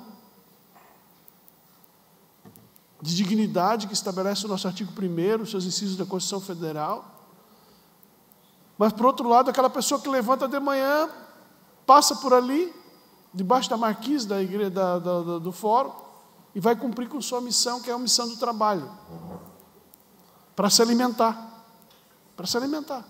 Vai trabalhar para se alimentar. Enquanto que aquelas pessoas passam o dia dormindo, sendo alimentadas. Então isso cria nas, nas pessoas, doutora, um sentimento de, sabe, qual é a, qual o peso que tem isso? Qual é o sentimento de responsabilidade da pessoa com relação a isso? Pessoas que não trabalham, não têm obrigação com seus compromissos de cidadão, não têm compromisso com, com a questão de pessoa, não têm compromisso com a sociedade, não tem compromisso com aquilo que a gente julga na nossa cabeça. Na nossa cabeça. Como os compromissos com, as, com a nossa comunidade. E essas pessoas muitas vezes estão sendo alimentadas sem precisar se direcionar ao trabalho e essas responsabilidades. Então, isso cria um sentimento na população que precisa ser compreendido. Porque se ele não for compreendido, nós não enfrentamos o problema. Então, esse é, esse é o peso que eu acho que não precisamos enfrentar. Ao mesmo tempo que a gente tem que dar dignidade para essas pessoas, elas não cumprem com, o seu papel social com a sociedade. Isso é importante compreender para poder enfrentar esse desafio. Mas eu passo a palavra ao secretário Leandro Lima, que tem feito um grande trabalho nessa questão do combate à drogadição moradores de rua aqui em Florianópolis. Parece que a galera gosta de Florianópolis, né? Demais. os números mostram que Florianópolis é a cidade preferida. Também, né? Dormir de frente para o mar. Ali na, na manhã não é para qualquer um. Né? Mas, é, é, Leandro, uh, Leandro Lima, você tem a palavra e é uma honra tê-lo aqui conosco. Obrigado, deputado. Boa noite. Já aproveitando para cumprimentá-lo por trazer o tema para discussão. Cumprimentar todas as pessoas que estão aqui presentes, a equipe da assistência que me acompanha e também as pessoas que nos acompanham pelo, pelo YouTube. É, os desafios para os gestores da assistência social são imensos. É, todas as falas anteriores foram perfeitas, a sua fala extremamente reflexiva nesse momento. É, deputado Sargento Lima fez uma fala belíssima, no qual quero cumprimentá-lo, mesmo a mesma distância, né? E fiquei bastante esperançoso com o decreto que ele fez menção, um decreto é, que vai regular um pouco mais essa questão é, da vinda de pessoas de outras cidades para Florianópolis. Cumprimentar, em nome desse desafio de todos os gestores da assistência social, a secretária Cláudia Bassim, aqui de Lages, né, estou vendo aqui de cima, parceira né, de, de, de, de discussão e de troca de experiências. Deputado, dizer que, dentro de todas essas falas, a gente acrescenta uma série de regramentos federais que hoje é, nos colocam cada vez mais nesse desafio. Nós temos os efeitos da DPF 976, é, do ministro Alexandre de Moraes, confirmada pelo plenário, é, que, cujos efeitos passaram a ser contabilizados a partir de, de 21 de janeiro é, desse ano. E a DPF nos aponta e nos empurra uma série é, de obrigações diariamente. Além disso, nós temos a lei Padre Júlio Lancelotti, além disso, nós temos o decreto presidencial de dezembro do ano passado, que acrescenta, que cria uma bolsa de capacitação profissional para as pessoas em situação de rua, no entanto, mantém as pessoas nas ruas, nessa mesma bolsa. Então, os desafios que nós temos passados são imensos. E aproveitando ainda nessa, nessa fala de possibilidades, queria é, conclamar a nossa sociedade a não dar esmolas.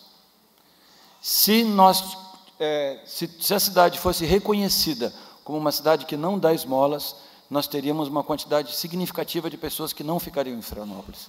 Porque as pessoas se alimentam, elas têm abrigo em Florianópolis. Esse, esse dinheiro oferido na, no, nas sinaleiras não vão para a alimentação, não vão para os seus próprios abrigos. Elas simplesmente vão para drogas e para o álcool, que gera toda a violência, nós tivemos morte em Florianópolis.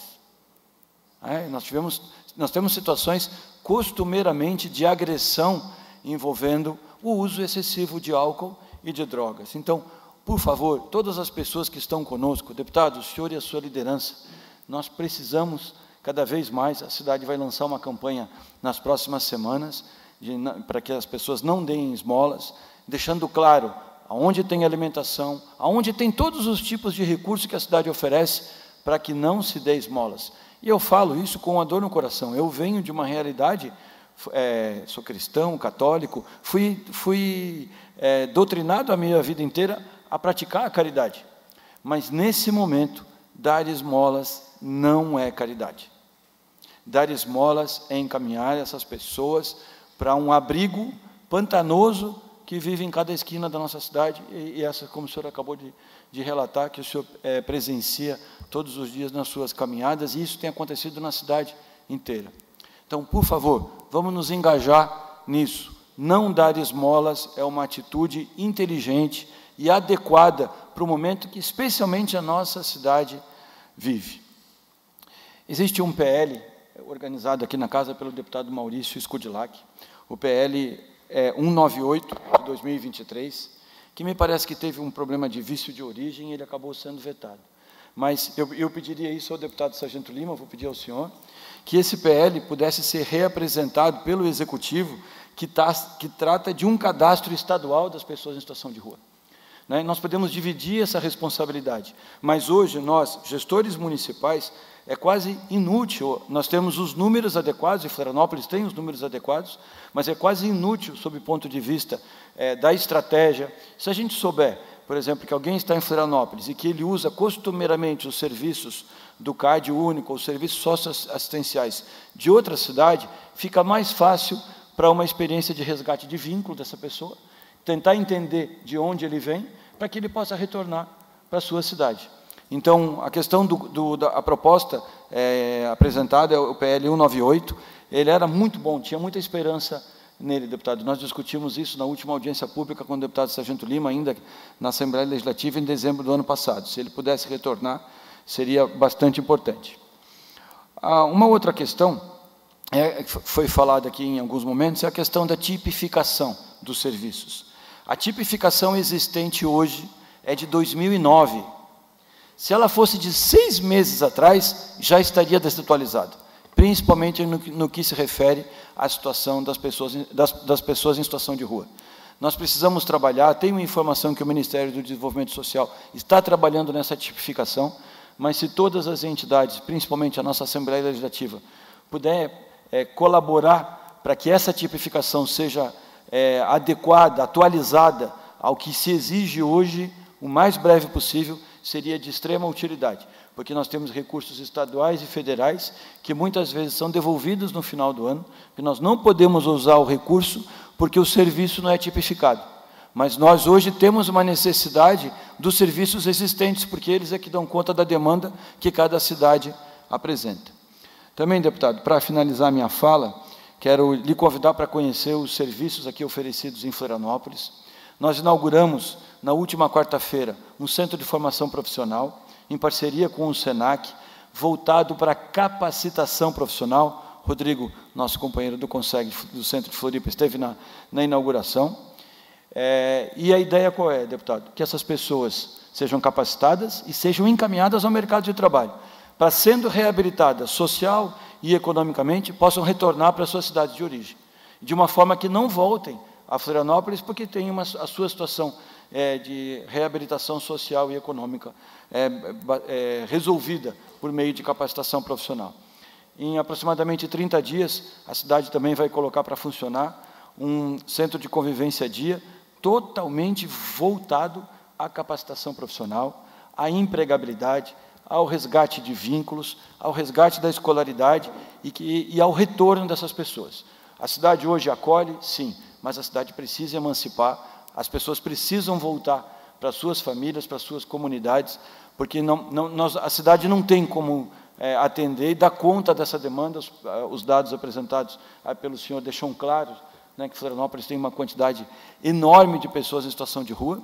E vou lhe dizer mais, deputado: cada vez mais chegam pessoas em Florianópolis com crianças. Só na sexta-feira, véspera, na sexta-feira, véspera do Carnaval, chegaram quatro famílias em Florianópolis na rodoviária naquela sexta-feira anterior ao carnaval, e essas quatro famílias tinham dez crianças consigo. Né? Dez crianças consigo. Uma família é, de outro país, da Argentina, com quatro crianças. É, então, é, essa situação está acontecendo e as crianças estão sendo utilizadas, infelizmente, como massa de manobra. É, porque vem e aí o apelo é enorme e nós não temos, a gente tem feito todo o esforço possível para não deixar crianças nas sinaleiras. O senhor vem é, a gente foi em São Paulo fazer uma imersão, prefeito Topázio, aqui quero cumprimentar. O ano passado nós ficamos alguns dias em São Paulo e nós fizemos uma imersão no fluxo. E conhecemos toda a equipe trabalhando no centro de, de São Paulo, na área da Sé. E nós, Janaína estava presente, está aqui. É, e lá nós tivemos um relato de uma quadrilha, doutor Redondo, que aluga crianças na sinaleira. As crianças não são daquelas famílias. Quanto mais novas, mais se paga pelo aluguel dessas crianças nas sinaleiras. E em Florianópolis a gente tem trabalhado diuturnamente para não termos crianças nas ruas. E, e, em nome disso, as pessoas se valem dessa situação, numa espécie de chantagem emocional, e vêm para Florianópolis de outras cidades, de outros estados, de outros países, com crianças. Então, isso é extremamente grave, e quero aqui, mais uma vez, agradecer a oportunidade de poder falar, a oportunidade é, e a, enaltecer a, a, o espaço, falar desse tema não é fácil, né, e, e, a sua liderança nesse sentido é, de trazer e chamar essa audiência pública, traz luz para esse tema que é extremamente importante e que nós vamos precisar enfrentá-lo olhando nos olhos de todas as pessoas. Deixar claro também, deputado, que a, as estratégias de segurança pública, elas se encaminham muito próximas às estratégias de assistência social. Por conta da, da proximidade, o ano passado, nossa Polícia Militar cumpriu mais de 250 mandados de segurança ativo no centro de Florianópolis, só em 2023. Então, as situações estão muito próximas. Mas o, o, caminho da assistência social, a estratégia de assistência social e a estratégia de segurança pública, elas estão próximas, mas elas estão em paralelo. Elas não devem se, elas não devem se cruzar. Ao, ao se cruzarem, nós vamos perder aquilo que a assistência social tem conseguido no sentido de restabelecer vínculos e de fazer com que a gente possa devolver pessoas à sua, à sua, à sua origem. Somente em 2023, nós devolvemos às cidades de origem, por meio de processos sociais, 677 pessoas. E nós devemos chegar, no ano de 2024, ao recambiamento de mais de mil pessoas por conta das estratégias de assistência. Se nós misturarmos a estratégia de assistência com a estratégia de segurança pública, nós vamos perder essa possibilidade do vínculo estabelecido de reencaminhar essas pessoas para suas comunidades de origem, para suas cidades e para suas famílias. Todas as pessoas que estão na rua têm alguém em algum lugar que podem colaborar para que elas voltem para essa situação. E se elas voltarem capacitadas, encaminhadas para o mercado de trabalho, com empregabilidade à vista, a gente tem reais possibilidades de enfrentar essa situação. Então, muito obrigado mais uma vez, todas as pessoas que nos assistem. O desafio é enorme, cumprimentar a Cris, que está representando a secretária é, Cristina da Assistência Social, que fala sobre saúde mental em Florianópolis, e dizer que, de fato, uma série de ações estão sendo implementadas no sentido de enfrentar. Não há uma solução fácil, nem uma solução única. A internação não vai resolver a, a capacitação profissional não vai resolver sozinha. O resgate da escolaridade, o resgate de vínculos não vão resolver, resolver sozinhos. Mas se a gente implementar todas essas estratégias de forma colegiada e em conjunta, nós temos como enfrentar essa situação. Mais uma vez, privilégio estar aqui, debatemos outro dia na CBN e, e agora tive uma oportunidade de conversar aqui. Então, muito obrigado a todos e sigamos à frente.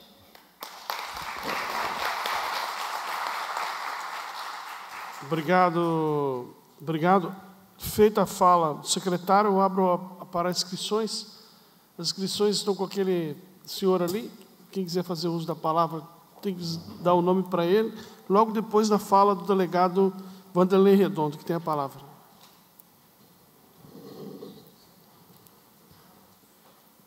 Boa noite a todos. Cumprimentar o deputado Ivanates, em seu nome cumprimentar todos os que compõem a mesa. É, eu achei realmente que esse tema é muito complexo. Se fosse fácil de resolver, não estaria alastrado praticamente para o mundo inteiro. Né? É, nós fazemos, eu sou titular da Delegacia de Polícia de Pessoas Desaparecidas do Estado de Santa Catarina. É, criamos a delegacia, inauguramos a delegacia em 2013. A partir daí, nós começamos a fazer operações de abordagem e identificação de pessoas em situação de rua. Isso em contando com o apoio da Polícia Científica, né, através dos papiloscopistas, é, Polícia Militar, Polícia, é, a nossa Polícia Civil, a Prefeitura, através da assistente social, e da é, sociedade civil, muitos colaboradores. Então, nosso objetivo era identificar essas pessoas em situação de rua. Só para vocês terem uma noção, nós enterramos uma média de 35 pessoas como indigente em nosso estado. Então, são pessoas oriundas de outros estados e até que saem outros países. Então, o que nos preocupa muito. Então, a gente procurava identificar, coletar a impressão digital Se a pessoa é de outro estado, nós buscamos o prontuário civil, é feito o confronto das impressões e nós jogamos no sistema aqui de Santa Catarina. E a partir de 2017, formamos é, o Força Tarefa DOA, ali sobre a batuta do Dr.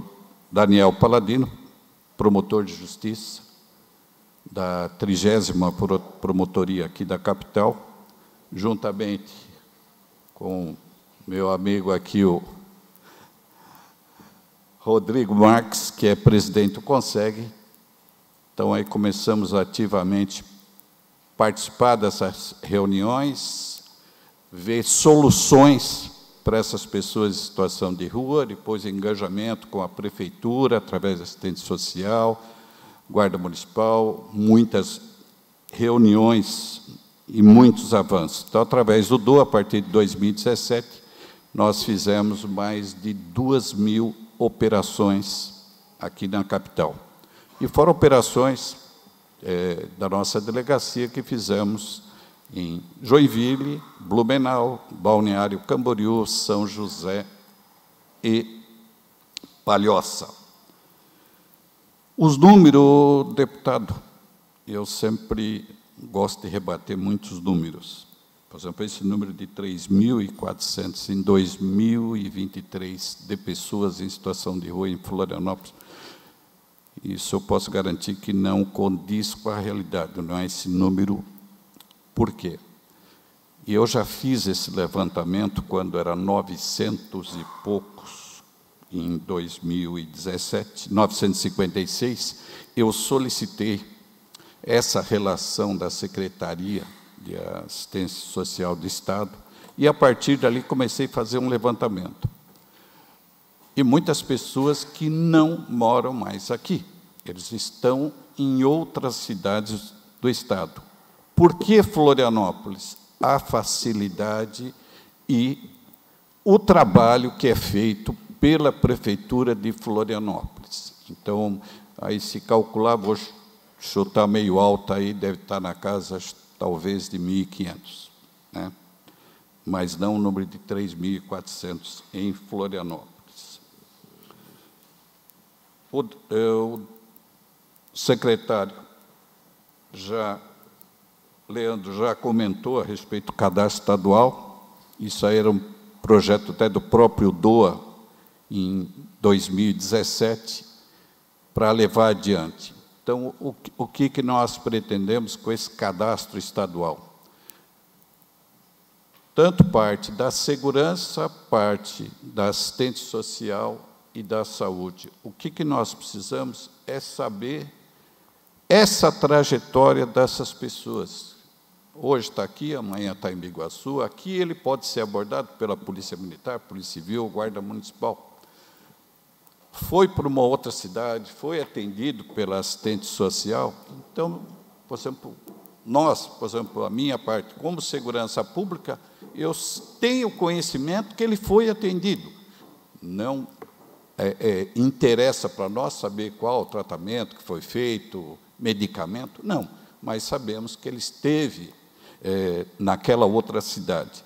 Então, é de, de suma importância esse projeto para que a gente consiga visualizar o número real de pessoas em situação de rua é, no nosso estado, nas cidades aqui do estado. Digo isso porque nem o IBGE foi possível fazer esse levantamento. Em alguns é, é, que a gente vê, por exemplo, o trabalho, que às vezes rebatem muito é, o trabalho que é feito, chamados aqui em Santa Catarina, Florianópolis, de higienistas. Né?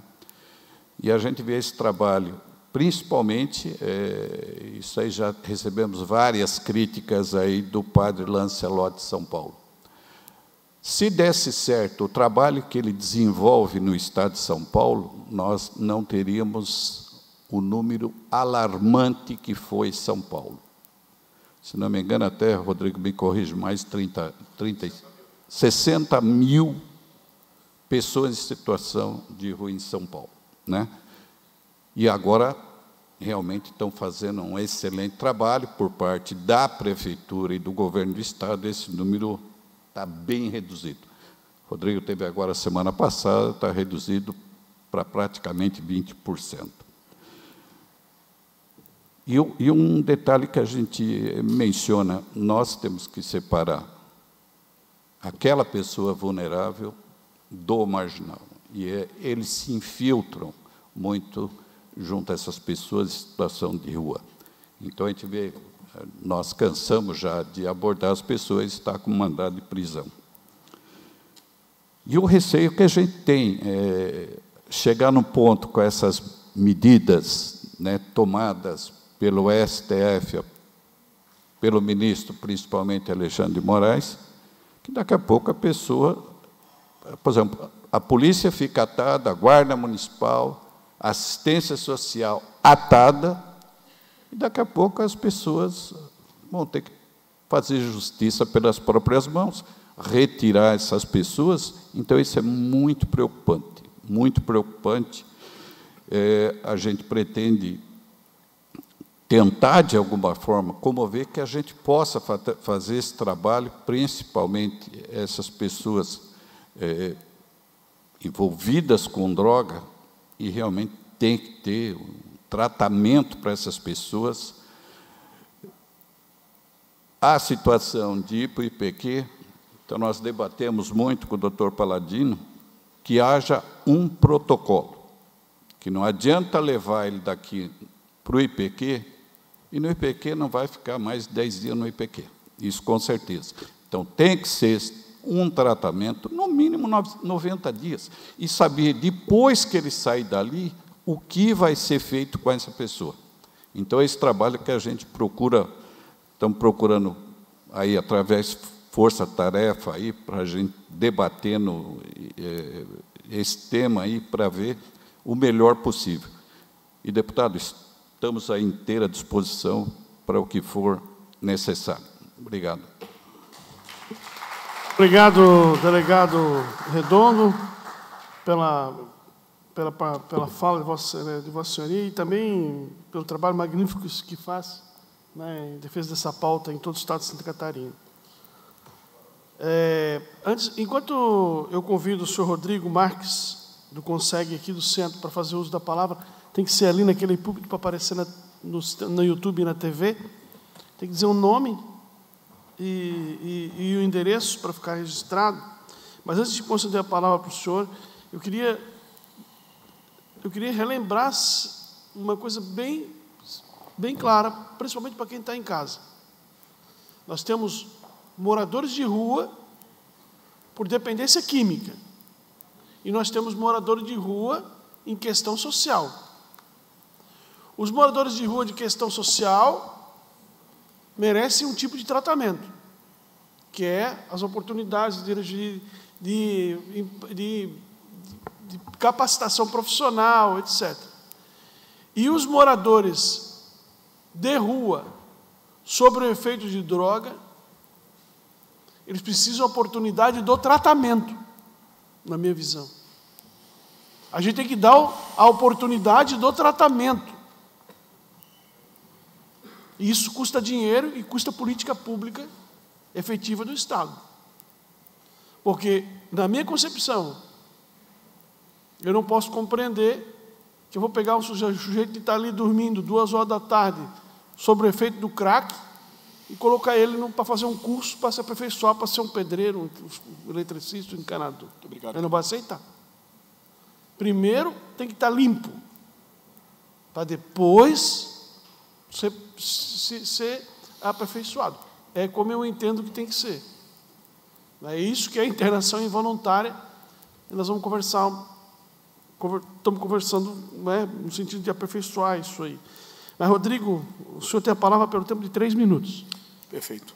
Bom, muito boa noite. Considerando o adiantado da hora, eu vou me permitir pular um pouco a parte protocolar. Só cumprimentar o deputado Ivan em nome dele, todas as autoridades e a todos os senhores e senhoras que estão aqui quase às nove da noite discutindo um assunto tão importante. Poderíamos, antes de tudo, queria me apresentar. Meu nome é Rodrigo Marques, estou como voluntário no Consegue Centro, como presidente. Faço parte da Força Tarefa há sete anos, Força Tarefa DOA, que trabalha com defesa, orientação e apoio a pessoas em situação de rua.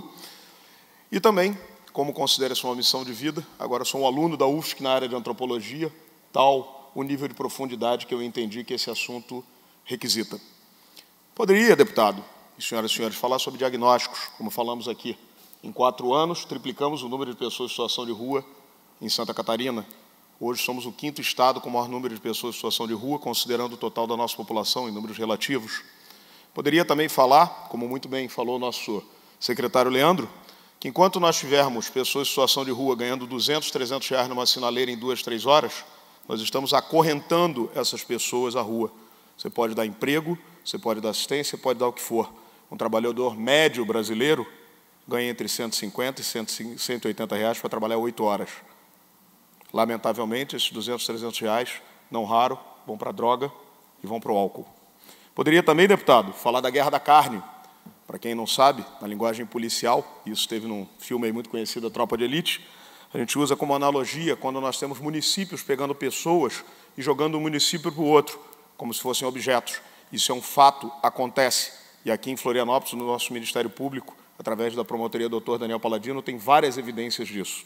Poderia também, no campo diagnóstico, falar, como também o senhor falou, uh, secretário Leandro, do aluguel de crianças, que nós não temos aqui, mas é uma chaga no Brasil, no Rio de Janeiro, em São Paulo. Uma criança de chão, segundo a linguagem deles, custa 50 reais. E uma criança de colo custa 100 reais. Para pedir esmola, porque sensibiliza mais. Podia também falar da questão dos marginais, como o doutor Vanderlei Redondo, que nos ombreia na Força Tarefa DOA, fala bastante. E quando eu falo de marginais em situação de rua, é por um motivo só. Sabe quem são as pessoas mais vulneráveis a esses marginais? Exatamente aqueles que estão na rua. Porque as senhoras e senhores, quando saírem daqui, vão para suas casas, vão fechar sua porta. E o sujeito que está na rua? Muito falamos do menino Thales, deputado, que foi esfaqueado no Largo da Alfândega, aqui em Florianópolis com 17 anos. Pouco falamos de duas pessoas em situação de rua que também foram esfaqueadas aqui, ó, na Gustavo Richard, deputado, aqui atrás, quase na frente da passarela da cidadania, equipamento que serve essas pessoas.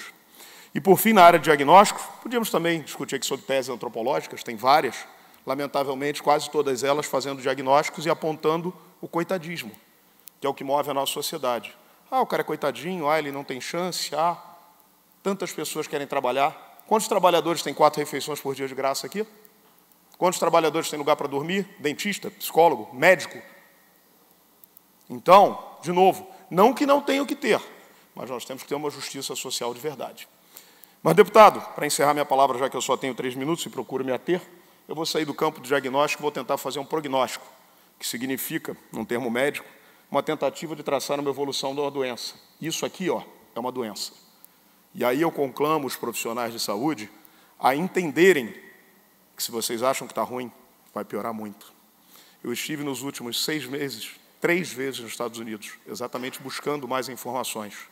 Alguém aqui já ouviu falar de fentanil? Drogas K? Opioides, derivados de opioides? Já viram na internet aqueles zumbis que vocês veem nos Estados Unidos, na Califórnia, em Chicago? Como o senhor falou, agora o senhor esteve na Alemanha, deve ter visto esse quadro também. Isso é seríssimo. E para nossa tristeza, o nosso prognóstico era que isso chegasse talvez em 2025. Mas infelizmente nós já tivemos um caso que nós estamos atrás, já foi identificado, para tentar descobrir se não chegou. E quando chegar, senhores e senhoras, nós não estamos preparados. E por isso, deputado, para fechar minha fala, eu queria que essa comissão de prevenção e combate às drogas colocasse no radar as drogas CAS, o fentanil e todas as drogas zumbis, porque vai ser absolutamente pior do que o crack. E está na nossa porta. Eu vi, e quem está nos meus grupos, secretário sabe, delegado sabe, quantas e quantos exemplos nós vimos lá fora. E algo fora do comum. Conclamo quem estiver no YouTube ou quem tiver no celular depois para olhar droga zumbi para ver o tamanho do tamanho disso. E, infelizmente, cairá em grande parte dessa população que já está em alto grau de vulnerabilidade.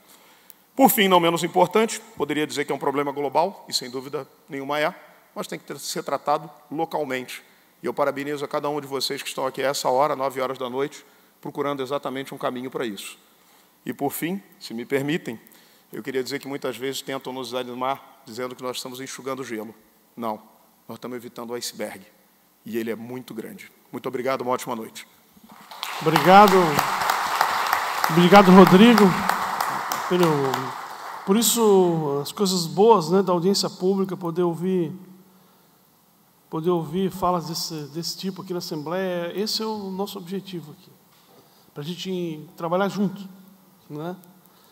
E, enquanto o, o Luiz Carlos Salles, nosso vereador Joinville, se dirige à tribuna, eu queria dizer que a droga K, ela só não está no Brasil porque os traficantes proibiram.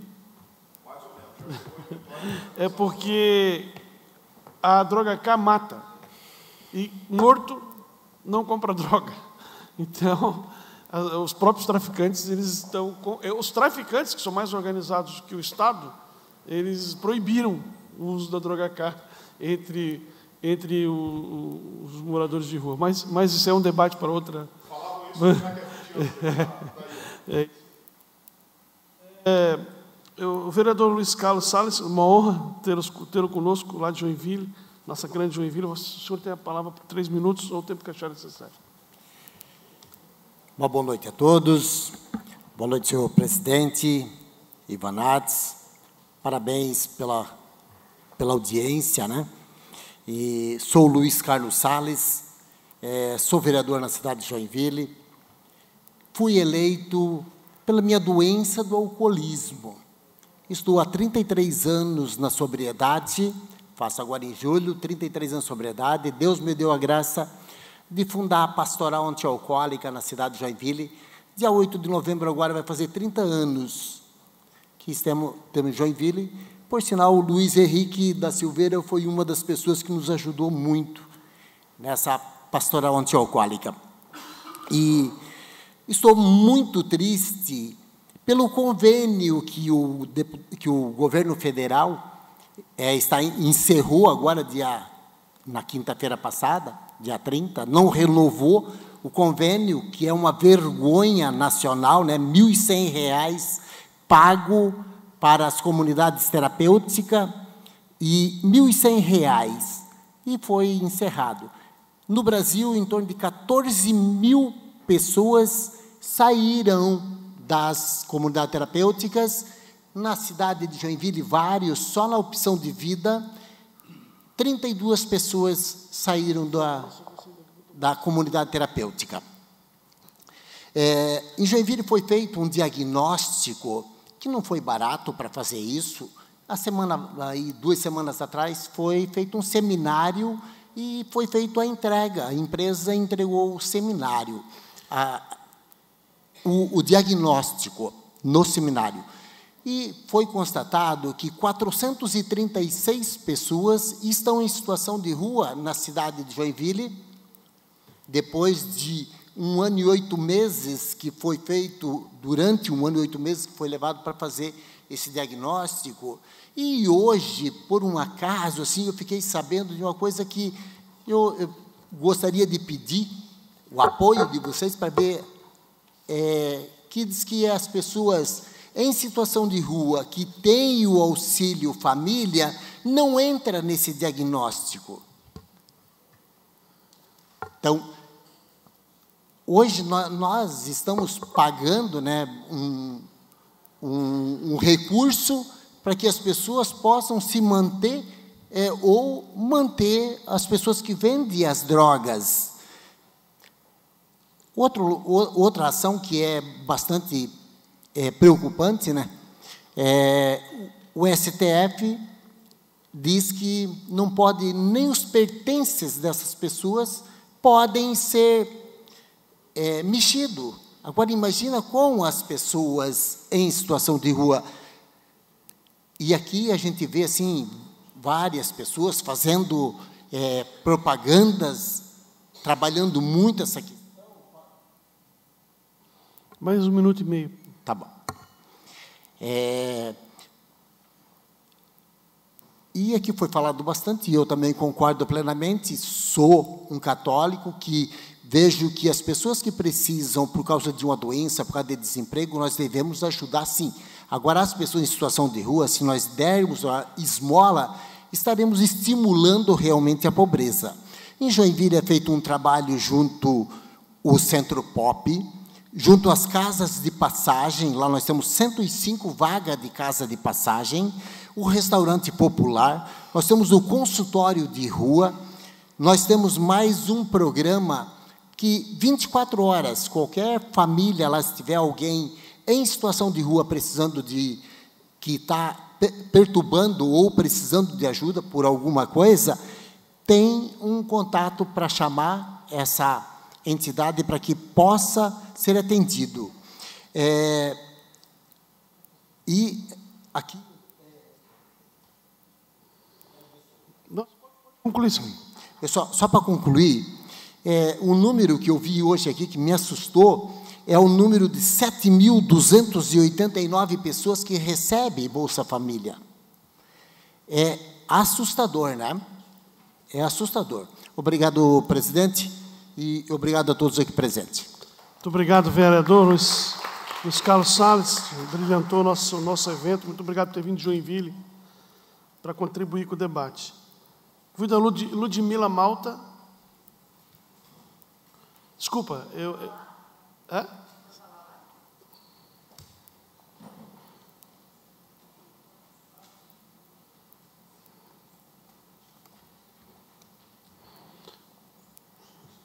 Opa, assim? A senhora tem três minutos.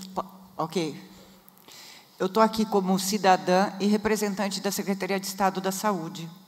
Eu tenho trabalhado com população em situação de rua há já em torno de cinco anos. É, o Estado ele vive um limbo, porque ele não pode exigir que os municípios façam as coisas, ele tem que estar apoiando e, fundamentalmente, eh, passando educação permanente, que muitas vezes fica difícil para nós técnicos realizarmos. Mas, antes de tudo, eu queria colocar aqui que é uma pauta da saúde, inerentemente, quando a gente fala de internação, é um objeto de instrumento de intervenção da saúde.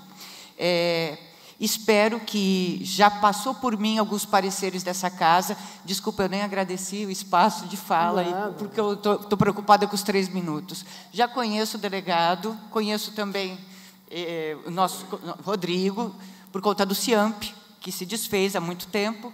E, é, por receber esses projetos, e é é pedido para a Secretaria de Estado parecer. Eu espero ansiosamente que peçam também o parecer nosso em relação a esse. Né? E algumas informações, assim, até a nível. É muito complicado, às vezes, quando a gente não é da saúde, acessar as informações que a saúde pode nos, nos viabilizar. Então, o Ministério da Saúde cuida muito desse.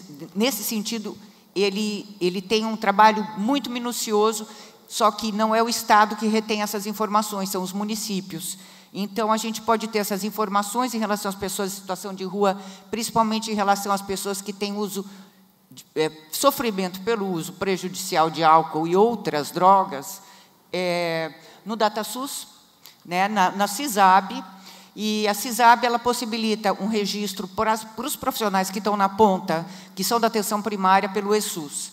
É, para aqueles que estão na média complexidade, pela via RAS, que são os CAPs, geralmente e para aqueles que estão na internação pelas AIHs. A gente tem que saber também que o Estado de Santa Catarina, infelizmente, é, oferta mais de 600 leitos de saúde mental em hospitais gerais por, por meio de contratualização, ou seja, o Estado paga.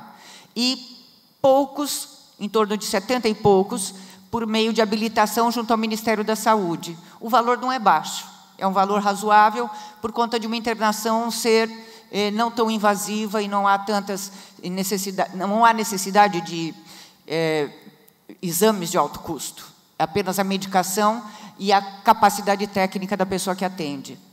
É, nós temos 115 CAPs no estado habilitados, é, dentre eles a expansão, a cobertura é um pouco maior, porque muitos são micro-regionais, então implicam outras cidades em pactuação junto ao município sede. Nós temos pouquíssimos SRTs, que são os serviços residenciais terapêuticos. Pode concluir. 487, então, que está demandando muito a questão dos residenciais terapêuticos. É, eu só queria dizer que a diferença entre o veneno e o remédio é a dose. Hipócrates já dizia. E esse espaço, espaço de fala, eu sinto a falta até de outros atores também, que são aqueles que estão passando pela, pela propriedade de estar na rua, né? Mas isso não vem ao caso, talvez seja isso que essa militância peca e erra, não estar aqui, né? Porque a gente tinha que estar aqui, eles escutando tudo aquilo que está sendo trabalhado em prol deles e pensando neles, né? E, e vejo que a gente está aqui à disposição, a gente tem uma capacidade técnica para poder instrumentalizar vocês no momento que vai escrever uma pauta ou até mesmo uma, um projeto de lei. Nós só não podemos intervir dentro do município. O município tem ampla e total responsabilidade em aceitar ou não é, o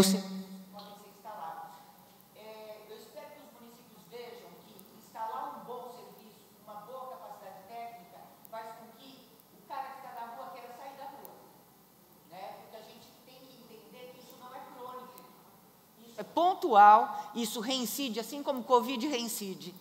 Né? Todos, e todos os agravos de saúde podem ser bem tratados quando tem capacidade técnica para se tratar. E eu espero que vocês procurem a gente a gente está ali para ajudar. Tá? É só o que eu tenho a dizer. Muito obrigado. Queria, queria registrar que foram expedidos convites para a secretária da Saúde para a Secretaria da Saúde, para as diretorias da Secretaria da Saúde, para participar dessa audiência. Eu mesmo liguei para a Secretaria da Saúde para que a secretária mandasse representante, mas infelizmente a secretaria não respondeu aos nossos convites. Muito bem. Eu ah, convido para fazer uso da palavra a nossa penúltima escrita, a Cláudia Bassim, ela que é secretária de, de Assistência Social de Lages.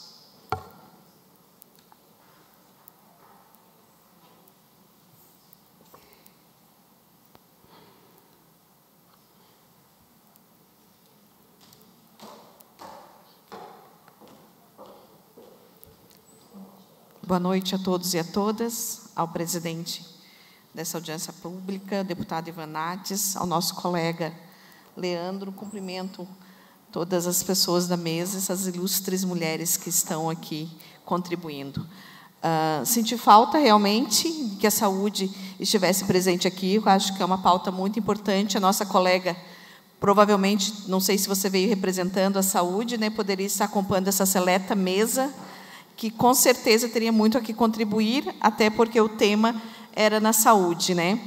Uh, aproveitamos a oportunidade, enquanto assistência social, estamos lá no município, na base, e precisamos que, sim, essa Casa Legislativa aqui apoie e cobre também do Estado e do governo federal a questão dos recursos, porque os recursos são finitos e as demandas infinitas. E nós que estamos lá na ponta é que sentimos. Né? Acredito que essa comissão que fala muito de prevenção e combate às drogas, né? Pouco foi se falado aqui no combate às drogas, que é combatendo o crime, combatendo o tráfico, que não é somente combatendo o usuário. O usuário chega em algum momento que ele já se tornou uma doença, como nossos colegas aqui já explanaram antes, é uma doença, tem CID, o uso de álcool e outras drogas, precisa ser tratado, precisa ter esse olhar de nós, enquanto sociedade, enquanto poder público, e precisamos, então, disso. Nesse momento, conclamamos, acredito que meus colegas aqui de assistência social de outros municípios sentem isso diariamente, né, nos nossos serviços, Lages tem centro pop, tem albergue pop, tem acolhimento pop, temos abordagem, e trabalhamos muito e muito fortemente para que possamos dar uma qualidade melhor de vida, garantindo os direitos dessas pessoas que estão em situação de rua e também de uma forma que a gente consiga trabalhar uma forma melhor com eles, não tenhamos situações, situações na nossa comunidade onde eles estarão violando os direitos de outras pessoas também que também temos que garantir de ambas as partes. Mas precisamos que essa assembleia seja uh, parceira, uh, combatente a cobrar das nossas autoridades combate ao tráfico. K9 já está aí, não, não é novidade, não vai chegar, já chegou. Né? Já temos no Brasil e lá em Lages, acho que em outros lugares, eles já estão colocando uh, bombril junto com o crack. Olha o estrago que isso vai fazer na saúde dessas pessoas. Colocam um bombril no crack. Infelizmente, senhor delegado, não é motivo de risada, é de choro, porque é triste, porque isso vai vai prejudicar o nosso sistema de saúde, porque é custo para nós, é custo para tudo isso, é dolorido, é triste, é muito triste, né? Porque atinge todas as pessoas, não somente assim. Pode concluir, secretário. Só pode, só não tem o tempo que achar necessário. Tá, joia. Obrigada, presidente. Uh, mas também os familiares dessas pessoas, a sua comunidade, porque ninguém é filho de chocadeira, né? Todo mundo sente isso sente na pele e nós, como comunidades, também sentimos. Porque uh, se alguém dá esmola é porque sente pena e se compadece dessa situação.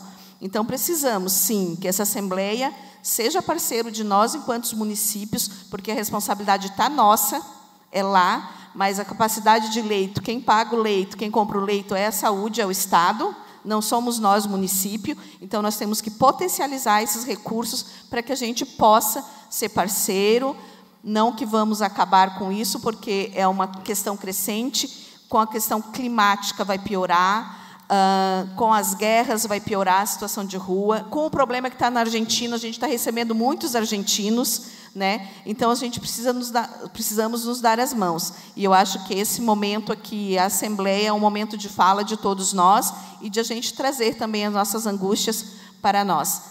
Podermos estarmos discutindo. Parabéns, promotora, pela sua fala. Né? Eu acho que temos que caminhar juntos. Muito obrigada, uma boa noite a todos vocês. Obrigado, Cláudia. Eu recentemente estive visitando a cidade de Lages, visitando a Cláudia na assistência social, e faz um trabalho extraordinário lá em Lages. E sempre que eu vou nas cidades que eu tenho a oportunidade de visitar a assistência social, para conhecer a realidade do município, né? E doutora, eu tive um dos traumas mais é, recentes da minha vida como cidadão, é ter presenciado lá em Lages pessoas na fila da sopa. Jovens, crianças e idosos na fila da sopa. Não eram moradores de rua, não eram drogados, mas eram pessoas que dependiam da sopa da assistência social de Lages.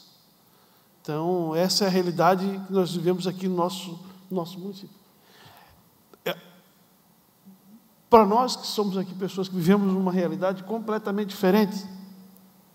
Eu moro num, num prédio, no centro da cidade de Blumenau, tenho um bom salário, todos aqui somos bem remunerados. E aí a gente tem convivência com os espaços da gente, com os nossos espaços, os espaços que a gente convive, nosso clube, nosso, é, nossa, nossas coisas do dia a dia. A gente não tem convivência com essa coisa. E quando tu deparas com uma fila da sopa em lajes, você vê quanto a gente precisa construir ainda, quanto nós precisamos trabalhar, quanto nós precisamos se dedicar, quanta política pública precisamos fazer, quanto enfrentamento precisamos fazer e lutar. Então, parabéns, Cláudio, estou muito feliz de te ver aqui. E, e leva nosso abraço lá, à assistência social de Lages, que faz um trabalho extraordinário. Tem um ditado, nas, tem um ditado que fala que onde a madeira chega, a pobreza aumenta. Né? Então, a região de Lages é uma, tem feito muito, muito, muito muita luta para defender aquela gente lá.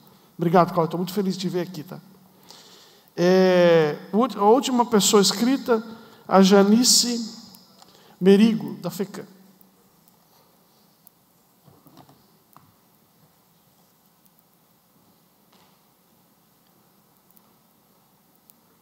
Boa noite a todas as pessoas aqui presentes. Cumprimentar o deputado Ivan Nats.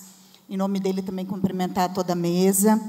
É, também reforçar que eu, enquanto trabalhadora do Sistema Único da Assistência Social, me senti bastante contemplada na fala da doutora Ana Luísa.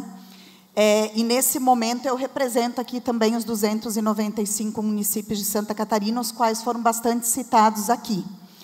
E aí a gente fica bastante incomodado, né, quando os municípios, ah, o município não tem o serviço, o município não faz, o município está com uma demanda enorme, enfim. Então eu me sinto é na obrigação de vir aqui em nome da Federação Catarinense de Municípios e dizer o quanto. E aí, deputado, foi muito interessante essa sua fala final da fila da sopa, porque a gente faz uma analogia, né? Nós não queremos mais uma assistência social que seja reconhecida como a fila da sopa.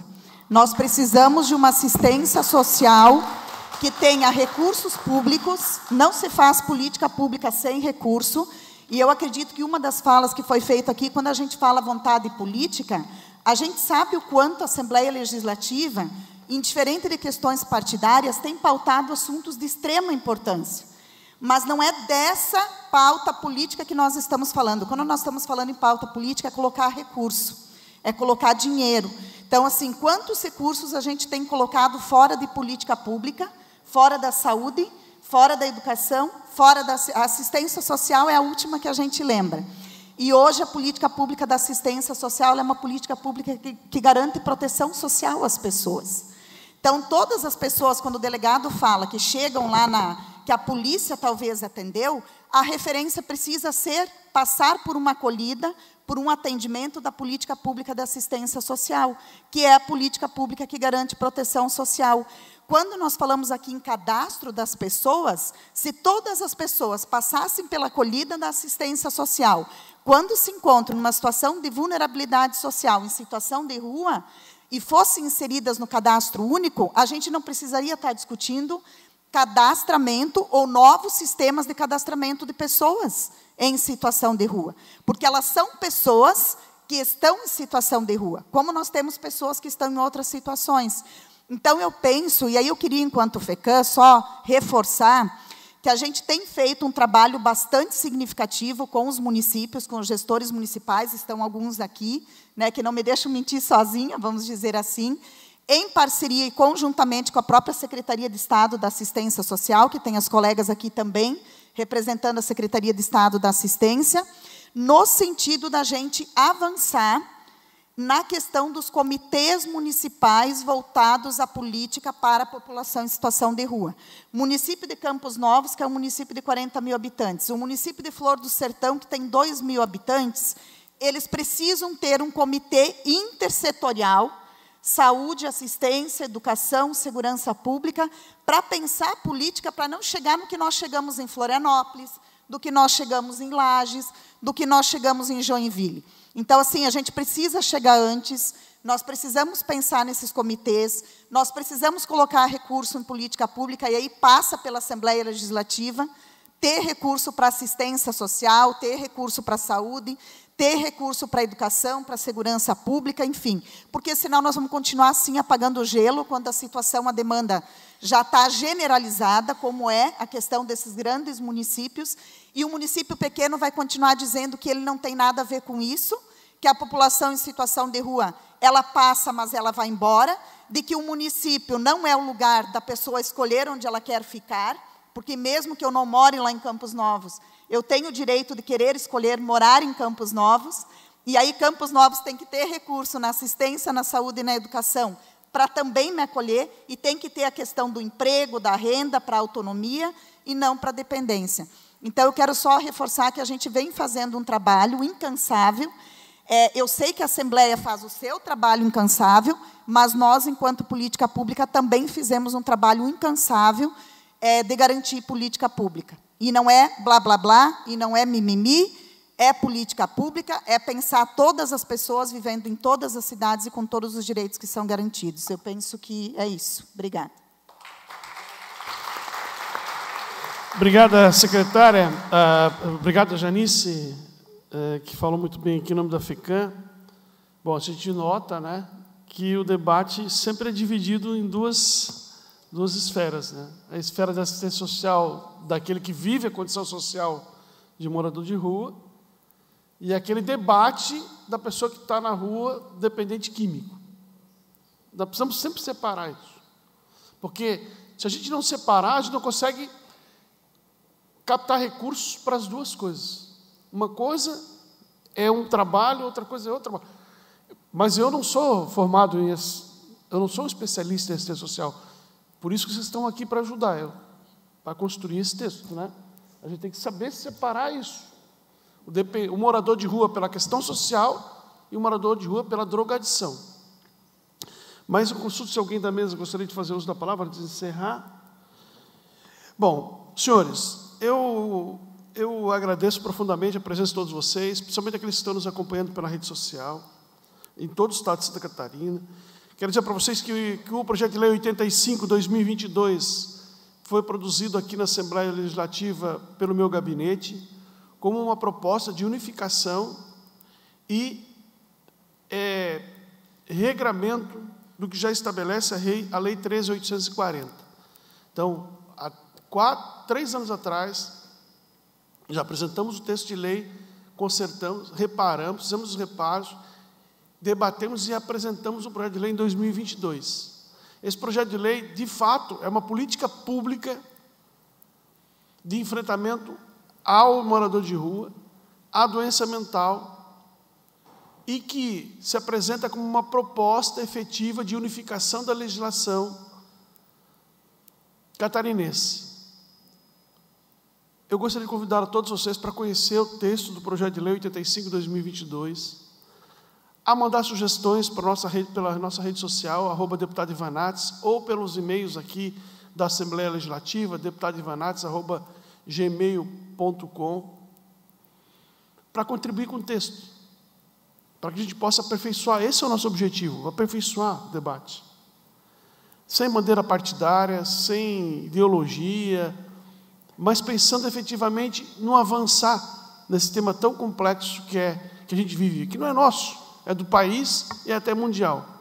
Mas ele está cada vez mais perto da nossa casa. Cada vez mais perto. E nosso sentimento como cristão, sabe? Que a gente está perdendo. Quando você vê uma pessoa dormindo num banco da rua, descalço, muitas vezes sem vestir, o teu sentimento de cristão de passar por aquela pessoa e achar que aquilo é, é, é, é, é normal. Se for um cachorro dormindo num banco da praça, nós nos preocupamos muito mais do que às vezes um cidadão que está ali naquela condição. Essa é a realidade que nós estamos vivendo hoje. Se um cidadão passa, um cara desse quebrar uma perna, cair lá na calçada, se não for assistente social, se não for um, alguém, um especialista, ir lá recuperar, levar para o médico, morre ali. Se for um cachorro, tem 300 para atender. Então nós temos que se indignar com isso, como cidadão que a gente é, como pessoa humana, como cristão. E é isso que a gente está tentando fazer aqui na Assembleia Legislativa, construindo um texto de lei que é o texto do dinheiro. Esse é o texto do dinheiro.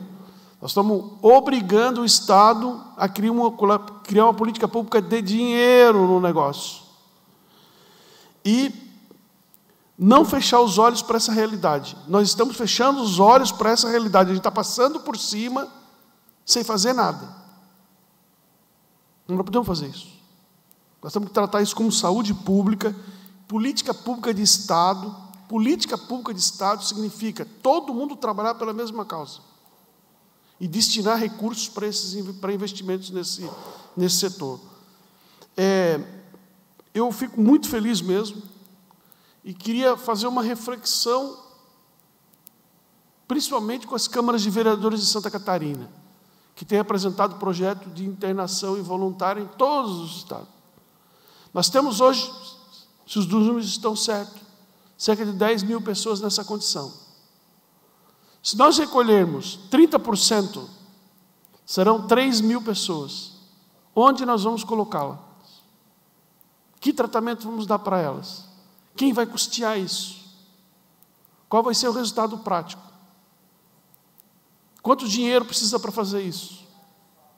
Né? Nós não temos essas respostas. Então, isso precisa ser tratado com muito mais seriedade, com muito mais comprometimento.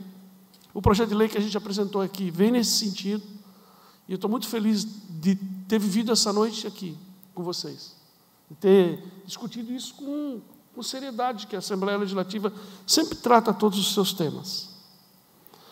E o projeto não foi votado. O projeto está tá aqui, está para ser construído, está para ser melhorado. Mas nós vamos apertar agora a Secretaria da Saúde. Nós tivemos na Secretaria da Educação, da Secretaria Social, a Secretaria da Assistência Social disse que isso não é um problema da assistência social. Mas é. Foi convidada para vir aqui, ela disse que não era um problema dela, mas é. Então nós não vamos deixar fugir do debate. E vamos estar sempre aqui, como eu disse, à disposição para melhorar o texto. Eu espero que no primeiro semestre, ainda no primeiro semestre, a gente possa colocar isso em votação. Que não seja nada inconstitucional, que não seja nada que fira a dignidade da pessoa humana, que seja verdadeiramente um texto de construção de, de, de deveres e obrigações com, os, com, com toda essa população que espera. Porque se não for nós fazemos alguma coisa, eles não têm mais condições de fazer por eles mesmos. Então, nós temos que fazer. Então, muito obrigado a todos vocês, foi uma honra. Continuamos no debate permanente. Muito obrigado.